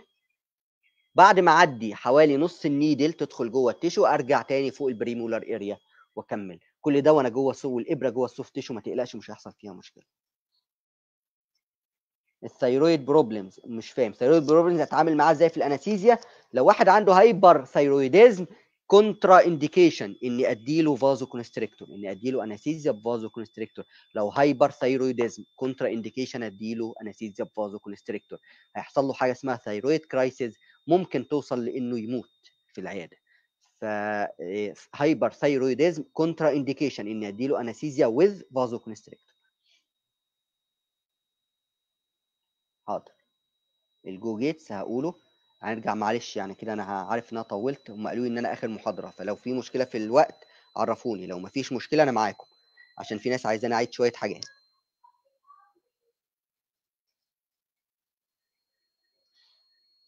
أنا إيه، إيه، إيه، مش فاهم الكلام إنجليزي وعربي فالكلام داخل في بعضه. آه الناس اللي خلعة من فترة طويلة. ال touch bone بيكون late هي تفرق في ال old age أكتر مش فكرة خالع بقاله فترة طويلة ولا لأ. ال old age ال ramus مع ال body of the mandible بيبقوا عاملين زاوية منفرجة قريبة من ال 90 درجة ده الطبيعي. مع ال old age ال ramus بيبدأ يرجع مش يرجع لورا يعني يحصل resorption من قدام و deposition ورا فتلاقي ال net result في الآخر إن ال ramus بقى عامل كده. فعشان تجيب touch بتبقى محتاج تدخل جوه أكتر من الطبيعي ده في ال old age مش ملوش علاقة بخلع بقى فترة طويلة ولا لأ. تعرف إزاي ال- ال- ال- المشكلة من ال overdose ولا ال vasoconstrictor تعرف ال overdose أنت هتبقى اديت overdose دي مبدئيا. أنت عارف أنت اديت كمية كبيرة من ال anesthesia ال vasoconstrictor أكتر حاجة بتبينه شكل ال patient بيبقى pale جدا وشه pale وأطرافه بيل ومش قادر ياخد نفسه. تلاقيه زي زي اللي جاله angina زي اللي جاله attack بتاعت angina vaso كل كل كل ال blood vessels بتاعته آه، خلاص حصل فيها constriction بقت ال blood اللي واصل لكل جسمه بقى قليل جدا. فهنا تعرف الفرق بين ال overdose أو يعني ال- ال drug لو المشكلة من ال anesthetic drug ولا من ال vasoconstrictor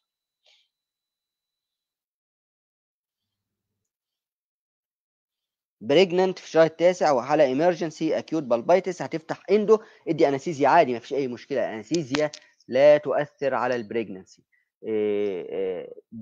يعني ال- الدكاترة أو الناس اللي بيقول لك ما تديش anesthesia في ال pregnancy من باب الاحتياط. لكن هي ملهاش مشكلة مع ال pregnancy خالص. ال pregnancy بنخاف عليهم من ال x-rays من الأشعة مش من مش من ال anesthesia برغم برضو إن الأشعة بتاعتنا بتاعت الأسنان ال dose بتاعتها قليلة جدا ما تأثرش. بس منعا للمشاكل وإن يحصل أي مشكلة لل للجنين فال patient اللي أنت اشتغلتها دي تتهمك إن الأشعة بتاعتك هي السبب فما بنديش أشعة في الحمل. لكن ال anesthesia ادي anesthesia عادي جدا مع ال pregnancy ما فيش فيه مشكلة.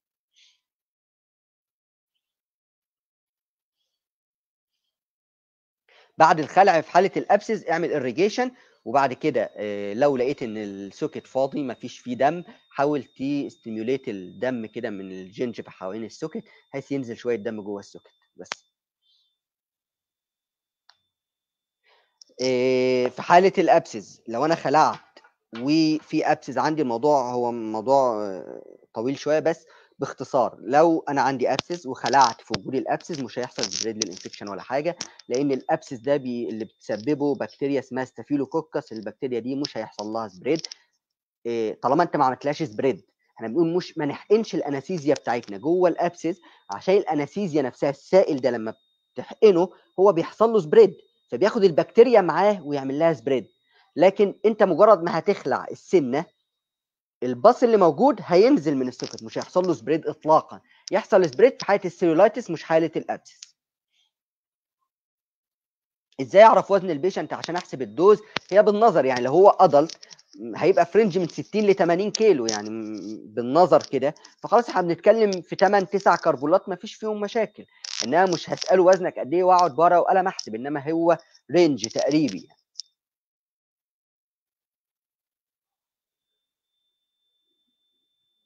لو patient عنده حساسية حساسية من إيه؟ حساسية من ال anesthesia. حساسية من ال anesthesia هتوقف طبعا وهتختار له آه، نوع تاني من ال anesthesia ما يكونش بيعمل له allergy. لو allergy من اللاتكس يبقى خلاص أنت هتحاول تجيب الكربول اللي من غير لاتكس ده بس أنا بصراحة أنا ما شفتوش خالص يعني. آه، إنما لو من ال anesthesia وفي كل الأحوال بعد ما هتغير سواء الكربول أو النوع ال anesthesia هتعمل له test ال anesthesia تجيب ال- السرنجة بتاعتك وتحقن حوالي واحد من 10 مللي تحت الجلد في إيده هنا. تحت الجلد تدخل ال needle تحت الجلد كده وتحقن نقطتين ثلاثة وتعمل دايرة حوالين المنطقة اللي انت حقنت فيها بالقلم ترسم دايرة كده بالقلم وتستنى دقيقتين ثلاثة وتبدأ تبص على إيده لقيت إيده normal مفيش مشكلة خلاص يبقى كده ما عندوش حساسية لو لقيت إيده بقى احمرت وبدأت تورم وبدأ يهرش في الحتة اللي انت حقنت فيها دي فهو عنده allergy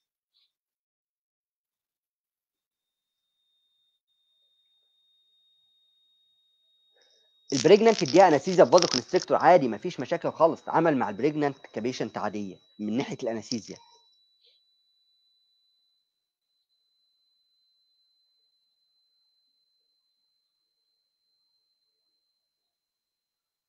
إزاي أفرق بين ال abscess وال cellulitis ال abscess ليه علامات واضحة. ال abscess بيبقى localized بتبقى منطقة محددة تبقى منطقة أنت شايفها تقدر تحدد ال cause المنطقة اللي فيها ال pus بتبقى واضحة قدامك وبيبقى حواليها red halo أو هالة سو... هالة هالة حمراء حوالين ال abscess لو جيت لمست ال abscess ده بصبعك ال patient مش هيتوجع لكن لو ضغطت على ال cause اللي هي السنة ال patient هيتوجع. ال cellulitis بيبقى spread لل infection بيبقى soft tissue infection كبير جدا. أنت مش قادر تحدد بدايته من نهايته تبقى المنطقة كلها red تبقى tender مجرد ما تلمس أي حتة ال patient هيصرخ تبقى دافية. إيه لو حطيت صبعك عليها هتحس إن المنطقة دي دافية. عن بقية ال skin بتاع ال patient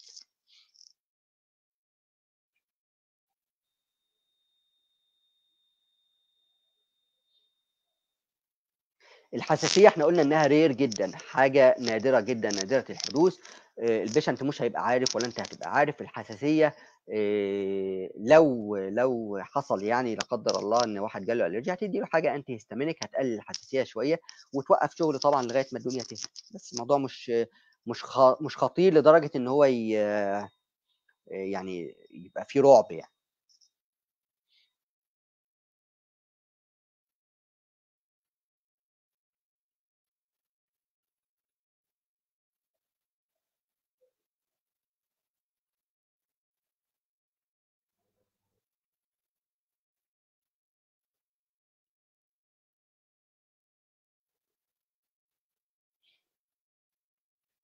injection of maxillary nerve maxillary nerve يعني إديتي nerve maxillary nerve block ولا دكتورة شيماء ولا maxillary nerve block ولا infiltration ولا قصدك إيه؟ ب injection of maxillary nerve حصل dumbbell shape edema ما أنا مش مش مش فاهم. هل قصدك maxillary nerve ولا nerve إيه بالظبط؟ ال management of cellulitis لو لو عندك حالة فيها cellulitis بندي له antibiotic coverage لمدة يوم ونشتغل maximum يوم maximum يوم ونخلع على طول وبعد كده نكمل ال course بتاع ال antibiotic ندي له antibiotic maximum لمدة يوم عشان يعمل لي localization لل infection ده عشان بعد ما اخلع ما يحصلش هنا بقى spread لل infection ان ال cellulitis بيتسبب بيتكون ببكتيريا اسمها streptococcus دي بتنتشر بسرعة جدا. فلو أنا خلعت و... و... وأنا مش عامل coverage أو مش عامل localization للبكتيريا دي هتنتشر. فندي anti يوم قبلها ونخلع وبعد كده نكمل ال dose بعد كده.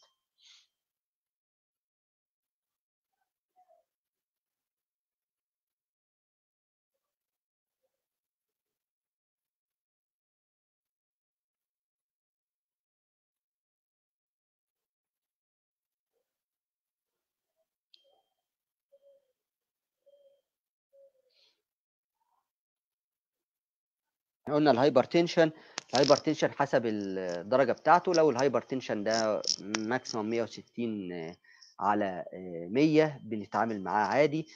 بنقلل ال vasoconstrictor بس يعني نديله carpule أو اتنين ب vasoconstrictor وبعد كده without vasoconstrictor.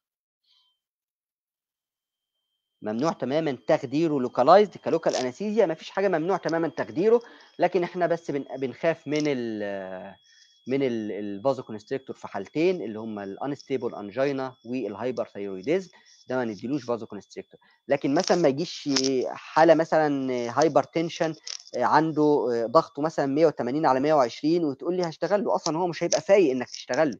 هو واحد زي ده جاي بيموت يعني ده حاجة اسمها crisis مش هيبقى فايق عشان أنت تعمل له حاجة في أسنانه. ده هتلاقيه في المستشفى. فدي الحالات اللي, اللي خلاص عنده attack مثلا واحد الحالات اللي هي already أصلا هو مش هيجي لك تشتغل لكن واحد جاي وفايق وبتشتغل له حتى لو عنده systemic disease اديله anesthesia بس هتفرق نوع ال anesthesia هيفرق في vasoconstrictor ولا لأ.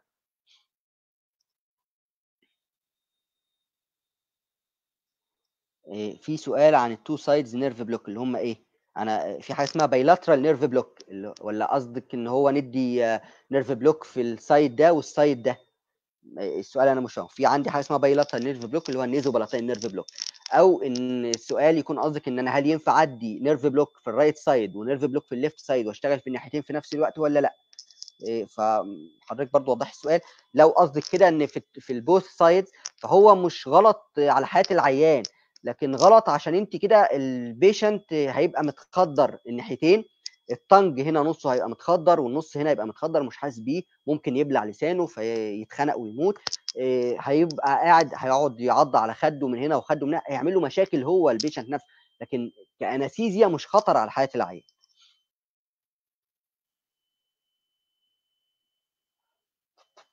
إيه اللي مرتين في اليوم؟ مش عارف. ولمدة قد إيه؟ مش عارف بصراحة السؤال ده. الكومنتات بتعدي بسرعة ففي حاجات أنا ما بلحقش أشوفها.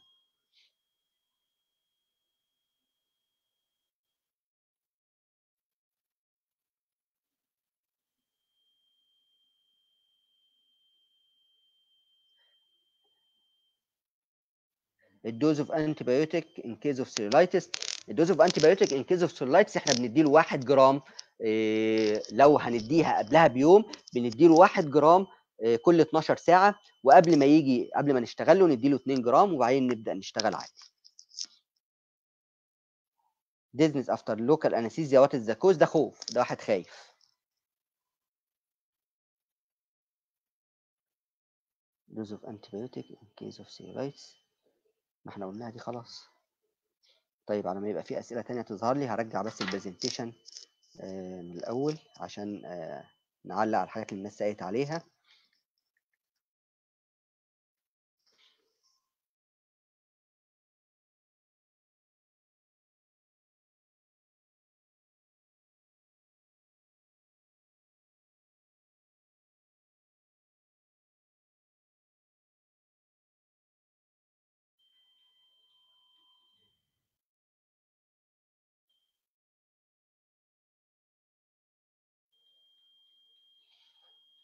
دكتور أحمد السامولي إحنا جاوبنا قلنا اللي في حالة ال abscess إحنا بنخلع وبعد ما بنخلع نكتب antibiotic لو الحالة تستدعي لو ال abscess كان كبير مثلا أو في مشكلة كبيرة. آه، ال cellulitis لازم ندي antibiotic قبل ما نشتغل آه، بيوم. في ناس في بعض ال papers قالت قبلها بساعة تقدر تدي antibiotic وبعد ساعة تشتغل. آه، لكن ما ينفعش تشتغل بدون antibiotic طبعا.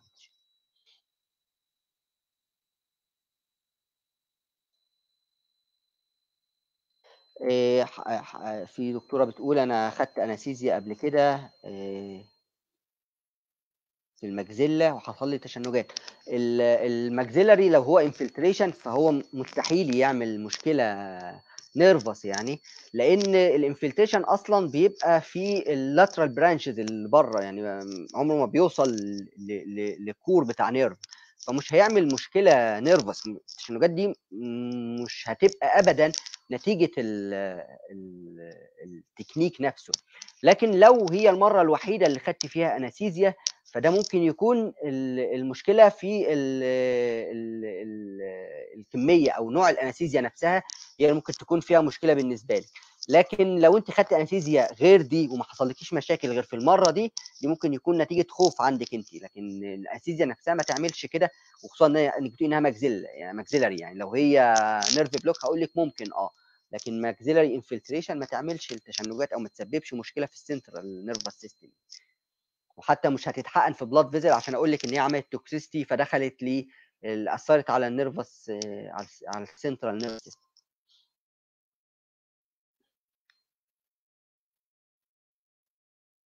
infiltration ينفع infiltration بس في ال pedo ولا لا؟ ينفع infiltration بس في ال pedo وخصوصا لو هو آه، أقل من ست سنين أو لغاية ست سنين infiltration بس كافي جدا ايا كان السن اللي هتشتغل فيها. nerve block بنبدأ نديه للأطفال من بعد سبع سنين لأن ال bone بيبقى بدأ يبقى more compact وبدأ ال- ال molars ال permanent تطلع.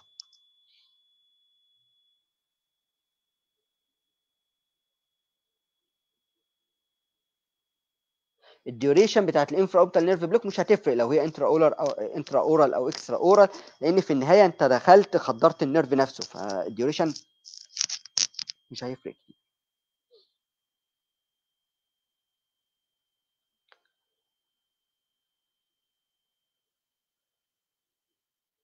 anesthesia to hepatic impaired patient لو واحد عنده مشكلة hepatic بنديله anesthesia عادي جدا ولكن زي ما قلنا ال vasoconstrictor sorry ال amide. هي المشكلة عندي في ال amide ال amide زي ما قلنا بيبقى فيه مشكلة مع ال liver فمش هنديله كمية كبيرة من ال anesthesia. يعني maximum carpule أو اتنين.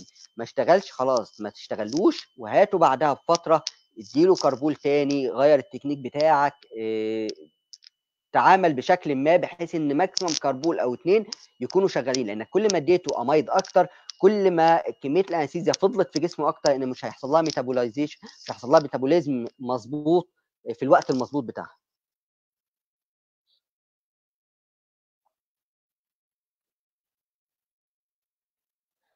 اعمل drainage إمتى أعمل drainage؟ لل abscess ده حسب ال abscess حجمه قد إيه مكانه فين السنة دي هيتعمل لها endo ولا لأ؟ يعني لو السنة دي هيتعمل لها endo يفضل إنك تفتح access تعمل منه drainage وتفتح ال abscess نفسه كمان تكمل ال drainage عشان يبقى أسرع. لو هتخلع مفيش داعي إنك أنت تعمل drainage لل abscess لأن already ال socket هيبقى كبير كفاية إنه يخرج ال pus كله.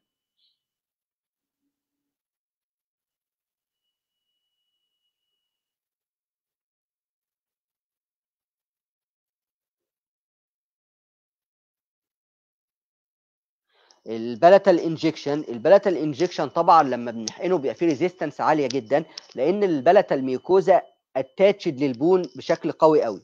فعشان تحقن ال anesthesia ما بين ال attached mucosa دي وال palatal bone هيبقى فيه resistance عالية. فبنعمل إيه؟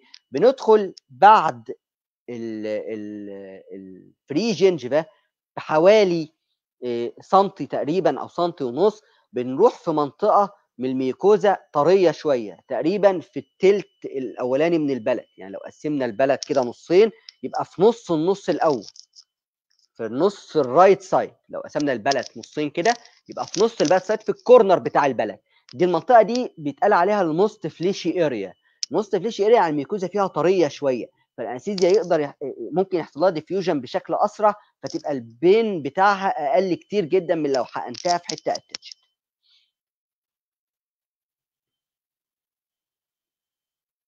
attached دي جاوبت عنها إزاي أقدر أخفف من ال pain بتاع ال palatal infiltration إزاي هخلع من غير ما أبنج؟ محدش قال تخلع من غير ما تبنج طبعا. مين قال كده؟ قصدك في حالة ال abscess؟ لا في حالة ال abscess لو في abscess بنج طبعا بس ما تبنجش جوه ال abscess ما تحقنش جوه ال abscess احقن حوالين ال abscess أو ادي nerve block لكن ما تخ... ما تدخلش ال anesthesia بتاعتك أو الإبرة بتاعتك جوه ال abscess نفسه. Uncontrolled diabetic patient المفروض أصلا ما تشتغلوش غير لما يبقى controlled ده رقم واحد. طب لو في حاجة ضرورية اديله antibiotic قبل ما تشتغل وتكمل ال dose بعد ما تشتغل. antibiotic قبل ما تشتغل وكمل ال dose بعد ما تشتغل ك prophylactic. ويبقى عندك دايما مع ال patient بتوع ال diabetic حاجة مسكرة جنبك. عشان لو بدأ يدوخ يغمى عليه بتاع تديله على طول يتشربوا الحاجة المسكرة.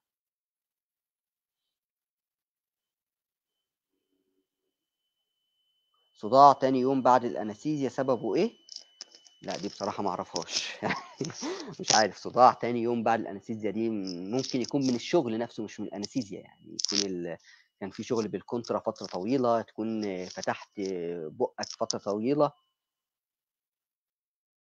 دكتورة ميار. تكون فتحت بقك فترة طويلة فالمسلز حصل فيها فتيج كده ممكن يكون ده السبب لكن مش من الأنستيزيا نفسها.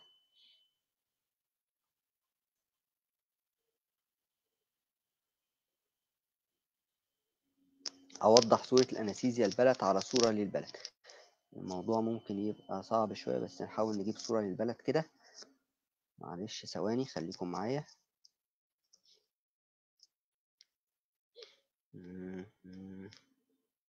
عارف إن أنا طولت بس برضو أنا ما عنديش مشكلة. لو أنتوا زهقتوا نقفل. نجيب إيه؟ صورة للبلد. آه.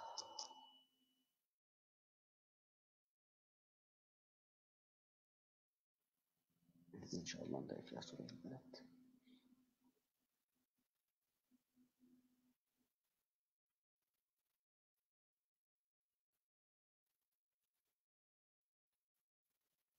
ثواني بس بشوف صورة لل palate عشان أوريكم عليها مكان البلتال انجكشن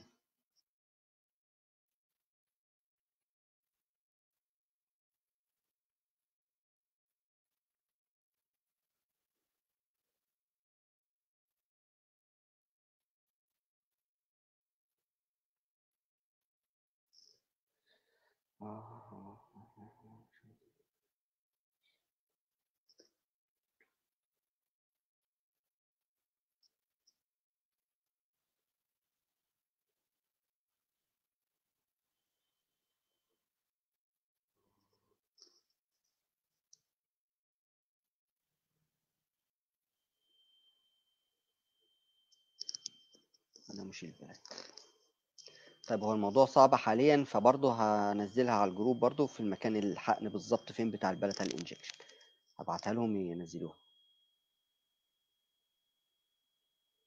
معلش عشان هو مش عارف ألاقيها دلوقتي بس عشان الوقت.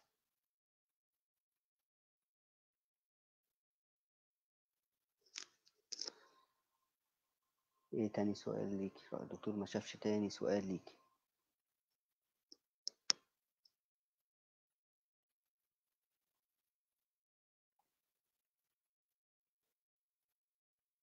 آه هنقول هو maximum do- anesthetic dose لل child برضو بتعتمد على وزنه. إيه الأول بس إن ن- نقول الحاجات دي قبل ما أنسى. المشاكل اللي هنا رقم واحد إيه ال- الدكتور أو ال dentist ما ينفعش ي touch ال patient بأي حال من الأحوال. يعني إيه ال left hand اللي هي ساندة بيها على راسها دي دي contraindication ما ينفعش إيدك تلمس رأس العيان بأي حال من الأحوال. أنت شغال في ال في ال oral cavity فكل شغلك على منطقة ال oral cavity ده رقم واحد.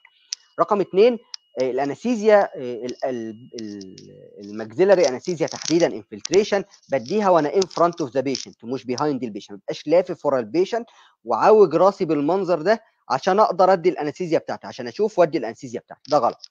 تاني حاجة ال needle هنا أنا شايفها داخلة في نص ال palate.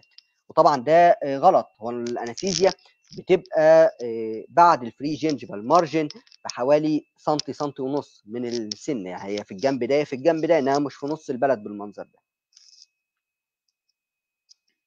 طيب نتكلم على ال maximum dose إزاي أحسبها؟ عشان حد سأل عليها برضو سريعا. maximum dose.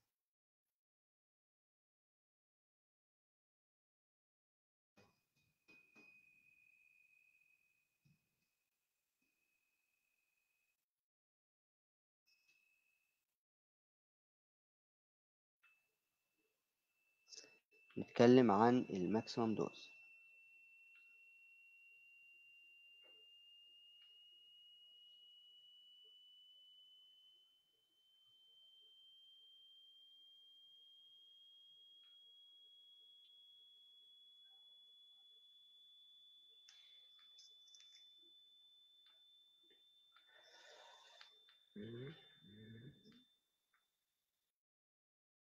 section بطيء بس معلش.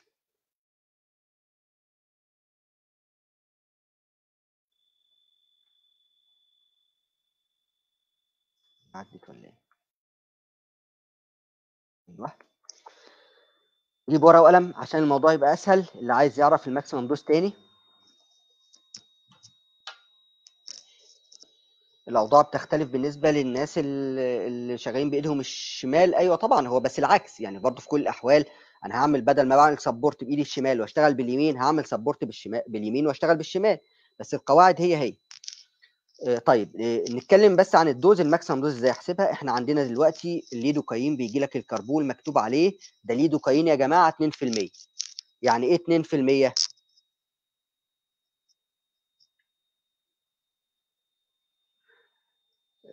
آه، حصل تشنجات مرتين آه، عرف الدكتور قبلها يغير نوع ال anesthesia اللي شغال بيها يمكن يكون المشكلة في ال anesthesia بس لو maxillary infiltration برضو ما تعملش مشكلة يعني ك ك nervous system ك central nervous system نتكلم بس ال ال إحنا قلنا الليدوكاين 2% 2% يعني ال powder بتاع ال anesthesia أنا عندي ال local anesthetic agent ده powder. 2 جرام متخففين في 100 ملي لتر fluid بتاعي اللي بشوفه جوه ال carpule ده. 2 جرام متخففين في 100 ملي لتر 100 ملي لتر ده رقم كبير يعني حجم كبير مش قليل. الاثنين أنا أنا مش عايز أتعامل بالجرام. دول 2 جرام في 100 ملي لتر. أنا عايز أتعامل بالملي جرام كل شغل هنا بالملي جرام فال2 جرام في ال 100 ملي عايز أحولهم لملي جرام يبقى 2 جرام يبقوا 2000 ملي جرام يبقى دول 2000 ملي جرام في 100 ملي لتر. حلو كده؟ يبقى ال 100 ملي لتر من السائل كتير كتير جدا دول محطوط فيهم 2000 ملي جرام من ال powder. تمام؟ طيب أنا دلوقتي عندي patient ال lidocaine الأول قال لك إن ال maximum dose بتاعته هي 4 و4 من 10 ملي جرام لكل كيلو. يعني الكيلو الواحد في البني آدم ده هو ما يستحملش أكتر من 4 و4 من 10 ملي جرام powder powder مش سائل powder طب أنا عايز أعرف ال 70 كيلو يستحمل قد إيه؟ هضرب في 70 4 و4 من 10 في 70 كيلو. يطلع 308 مللي جرام يبقى البني آدم اللي قدامي ده أهو 70 كيلو ده أهو يستحمل 308 مللي جرام powder. طب أنا مش هحقن له powder أنا هحقن له سائل. طب عايز أعرف الس... ال powder 308 دول هحطهم في سائل قد إيه؟ طب ما إحنا عندنا إن ال 2000 مللي جرام powder محطوطين في 100 مللي لتر سائل. يبقى ال 308 مللي جرام بودر يتحطوا في كام مللي لتر سائل؟ هنضرب طرفين في وسطين يبقى 308 في 100 على 2000 يطلع لنا كام؟ تقريبا على ما أتذكر كان 15 و4 من 10 مللي لتر سائل. يبقى في الآخر الراجل ده أهو اللي قدامي هيتحمل 15 و4 من 10 مللي لتر من الأنستيزيا بتاعتي المحلول بتاعي. 15 و4 من 10 مللي لتر دول كام كربول يا جماعة؟ عشان نعرف لازم نعرف الكربول فيه قد إيه. الكربول الواحد فيه 1.8 من 10 مللي لتر. يعني الكربول اللي بنحقنه ده أهو فيه 1.8 من 10 مللي لتر. يبقى ال 15 و4 من 10 دول كام كربول نقسم على 1.8 من 10 يطلع لنا حوالي 8 وشوية على ما أتذكر برضه.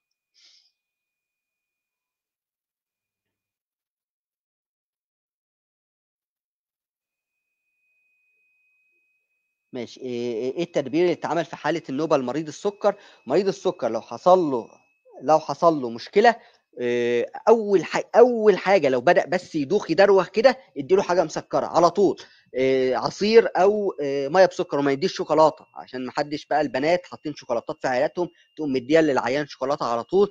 لا طبعا الشوكولاتة على ما ما تدوب وتوصل للجسم والدنيا دي هيكون العيان فرفر هيكون العيان مات. فمية بسكر أو عصير دول أسرع حاجة وأمن حاجة.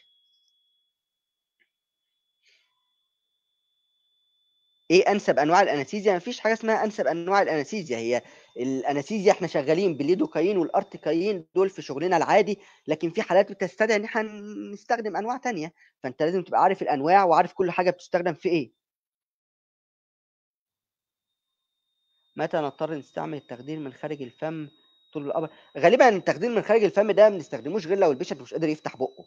يعني لو عندي مشكلة إن ال patient مش يعني أنا مثلا هدي infraorbital nerve block إيه اللي يخليه اللي يخليني أديه extraoral وأنا أقدر أديه intraoral إلا لو عندي abscess كبير آه، عندي مشكلة آه، ال patient حتى لو ال patient مش قادر يفتح بقه هقدر أديه هنا. لكن لو في abscess كبير في المنطقة دي مش هقدر أحقن ال intraoral من جوه. إنما في الغالب ما ب... كل شغلي intraoral يعني ما بديش extraoral دي إلا في حالات نادرة جدا لو في حاجة تمنعني من الحقن intraoral مرة في ال maxilla ومرة في ال mandible خلاص عرفي الدكتور يغير لك نوع ال anesthesia وشوفي هيحصل مشكلة تاني ولا لأ.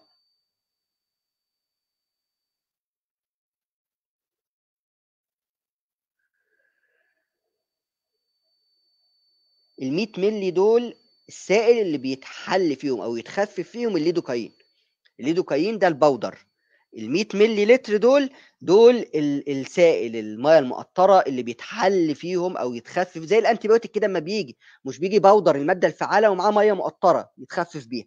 هي نفس الفكرة. ال anesthesia عبارة عن كده. ال anesthesia عبارة عن مادة فعالة powder وبتتخفف في سائل أو ميه مقطرة. الميه المقطرة دي هي ال 100 مللي لتر اللي تخفف فيهم ال 2000 مللي جرام.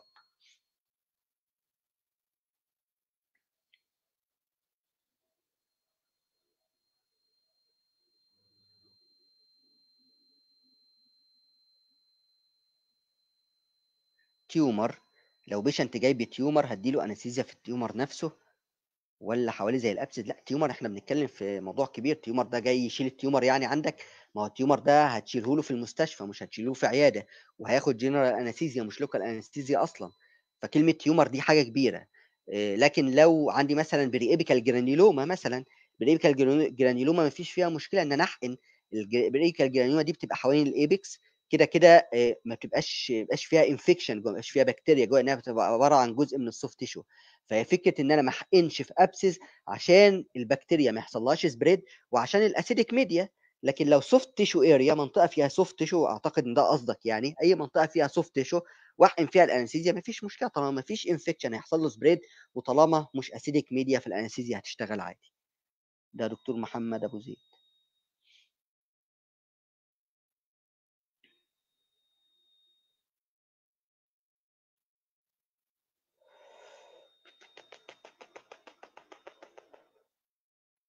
إذا كانت نوبة مريض السكر نتيجة ارتفاع السكر في الدم بسبب استخدام التخدير الموضعي مع الأدرينالين طيب هو ال- السكر في الدم ما بيعلاش بسبب ال- الأدرينالين أو ال vasoconstrictor ولا حاجة لكن لو هو هو already لو المريض السكر ده بدأ يحصل له coma ال coma دي انت ما بتبقاش عارف هي نتيجة hypoglycemia ولا hyperglycemia ولكن إحنا عارفين إن ال hypoglycemia أخطر كتير جدا من ال hyperglycemia ففي الحالة دي أنت ما تعرفش هتقوم مديله مية بسكر على طول. طلع نتيجة hypoglycemia هيبدأ يفوق ويبقى كويس. نتيجة hyperglycemia كده كده مش هيبقى فيها خطر وكده كده هيفوق لوحده بعد شوية لما يبدأ ال- السكر الزيادة ده يبدأ الجسم يتعامل معاه. ففي كل الأحوال أنت بتدي له مية بسكر أو عصير إيه، لو هو hypo أو هو hyper لأن أنت ما بتبقاش عارف أصلا في الأول الكوما نتيجة إيه.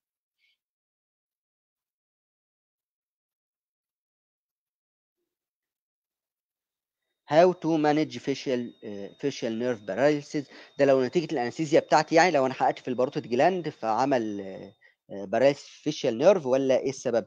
لو هو نتيجة ال anesthesia بتاعتي فإحنا قلنا مجرد ما في وقت ال anesthesia هيروح ال paralysis ده هيروح والدنيا هتبقى كويسة عادي جدا. أفهم ال patient بس هي الفكرة كلها ان أقدر أعمل management لل patient مش للحاله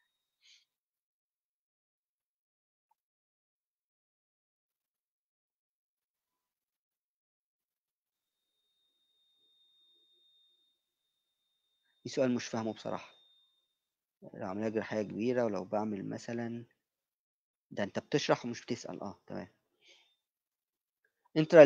anesthesia يبقى أنا بستخدمها في حالات ال impaction مثلا أو لو آه، آه، حالة مثلا lower 6 و badly destructed وهتاخد مني وقت وفي infection تحتها.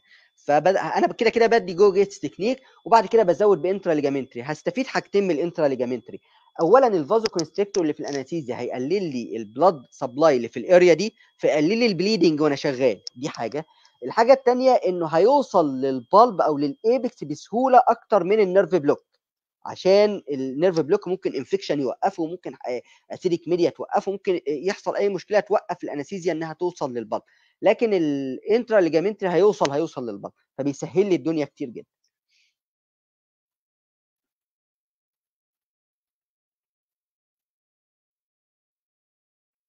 course المضاد الحيوي بيكون إزاي وكام يوم؟ ده حسب الحالة. لو إحنا بنتكلم عن ال cellulitis فإحنا بنديله ال antibiotic زي ما قلنا قبلها بيوم أو minimum أقل حاجة قبل ما أشتغل بساعة 2 جرام وبعدين أشتغل. وبعد كده بكمل ال course بتاعي من 3 أيام لخمس أيام maximum أسبوع حسب. حسب ال case بتاعتي إيه وحسب أنا مديه إيه حسب ال patient وضعه إيه وجسمه إيه. يعني في عوامل كتير بتفرق في ال dose بتاعت ال antibiotic لو المريض أصلا Bell's palsy لو هو أصلا عنده facial nerve paralysis أنا بتعامل عادي ماليش دعوة بال facial nerve أصلا.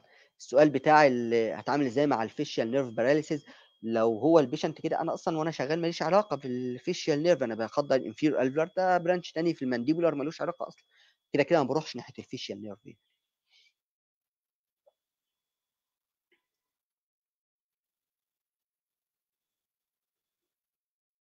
ما هو إحنا قلنا لو hyperthyroidism أنا ما ينفعش أديله anesthesia with vasoconstrictor لأن هيحصل له thyroid crisis ال thyroid crisis ده محتاج إنك توديه على المستشفى أنت ما ينفعش تتعامل معاه أصلا.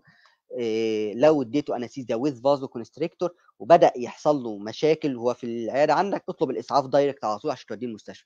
لأن ده ده patient محتاج اكسجين ومحتاج تعامل مختلف مش هيبقى عندك في العيادة.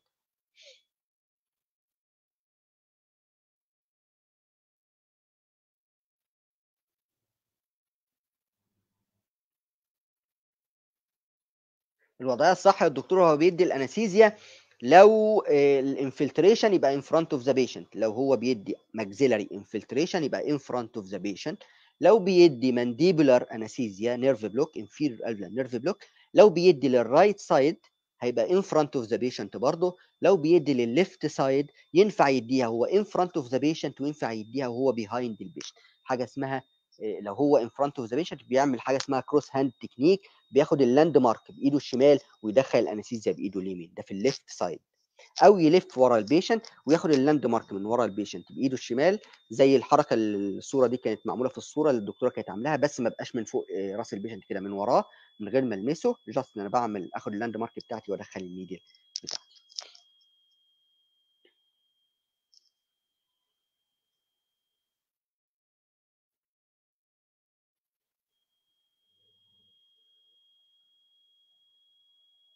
آه دي ممكن يكون حصل لها vasovagal attack فعلا.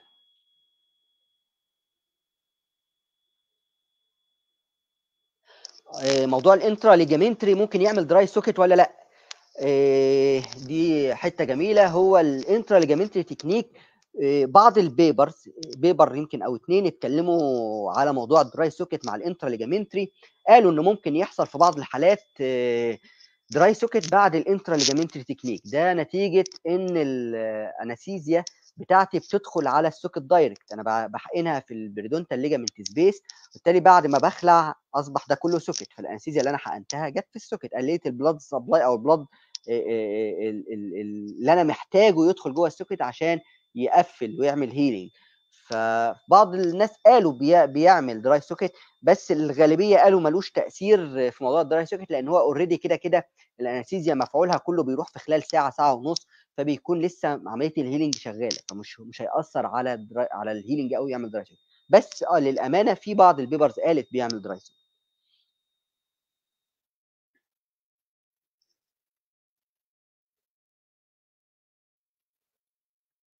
إيه كده يعني إحنا بقالنا ساعتين وشوية أنا متشكر جدا ليكم والناس اللي نظموا ال... اللي بينظموا المؤتمر ده ويعني سعيد إن أنا مشارك في حاجة جميلة زي كده مع أساتذتي وسط ناس كبيرة زي اللي في المؤتمر. إيه شكرا جدا ليكم وأتمنى إن أنتم تكونوا استفدتوا من المحاضرة إن شاء الله. شكرا.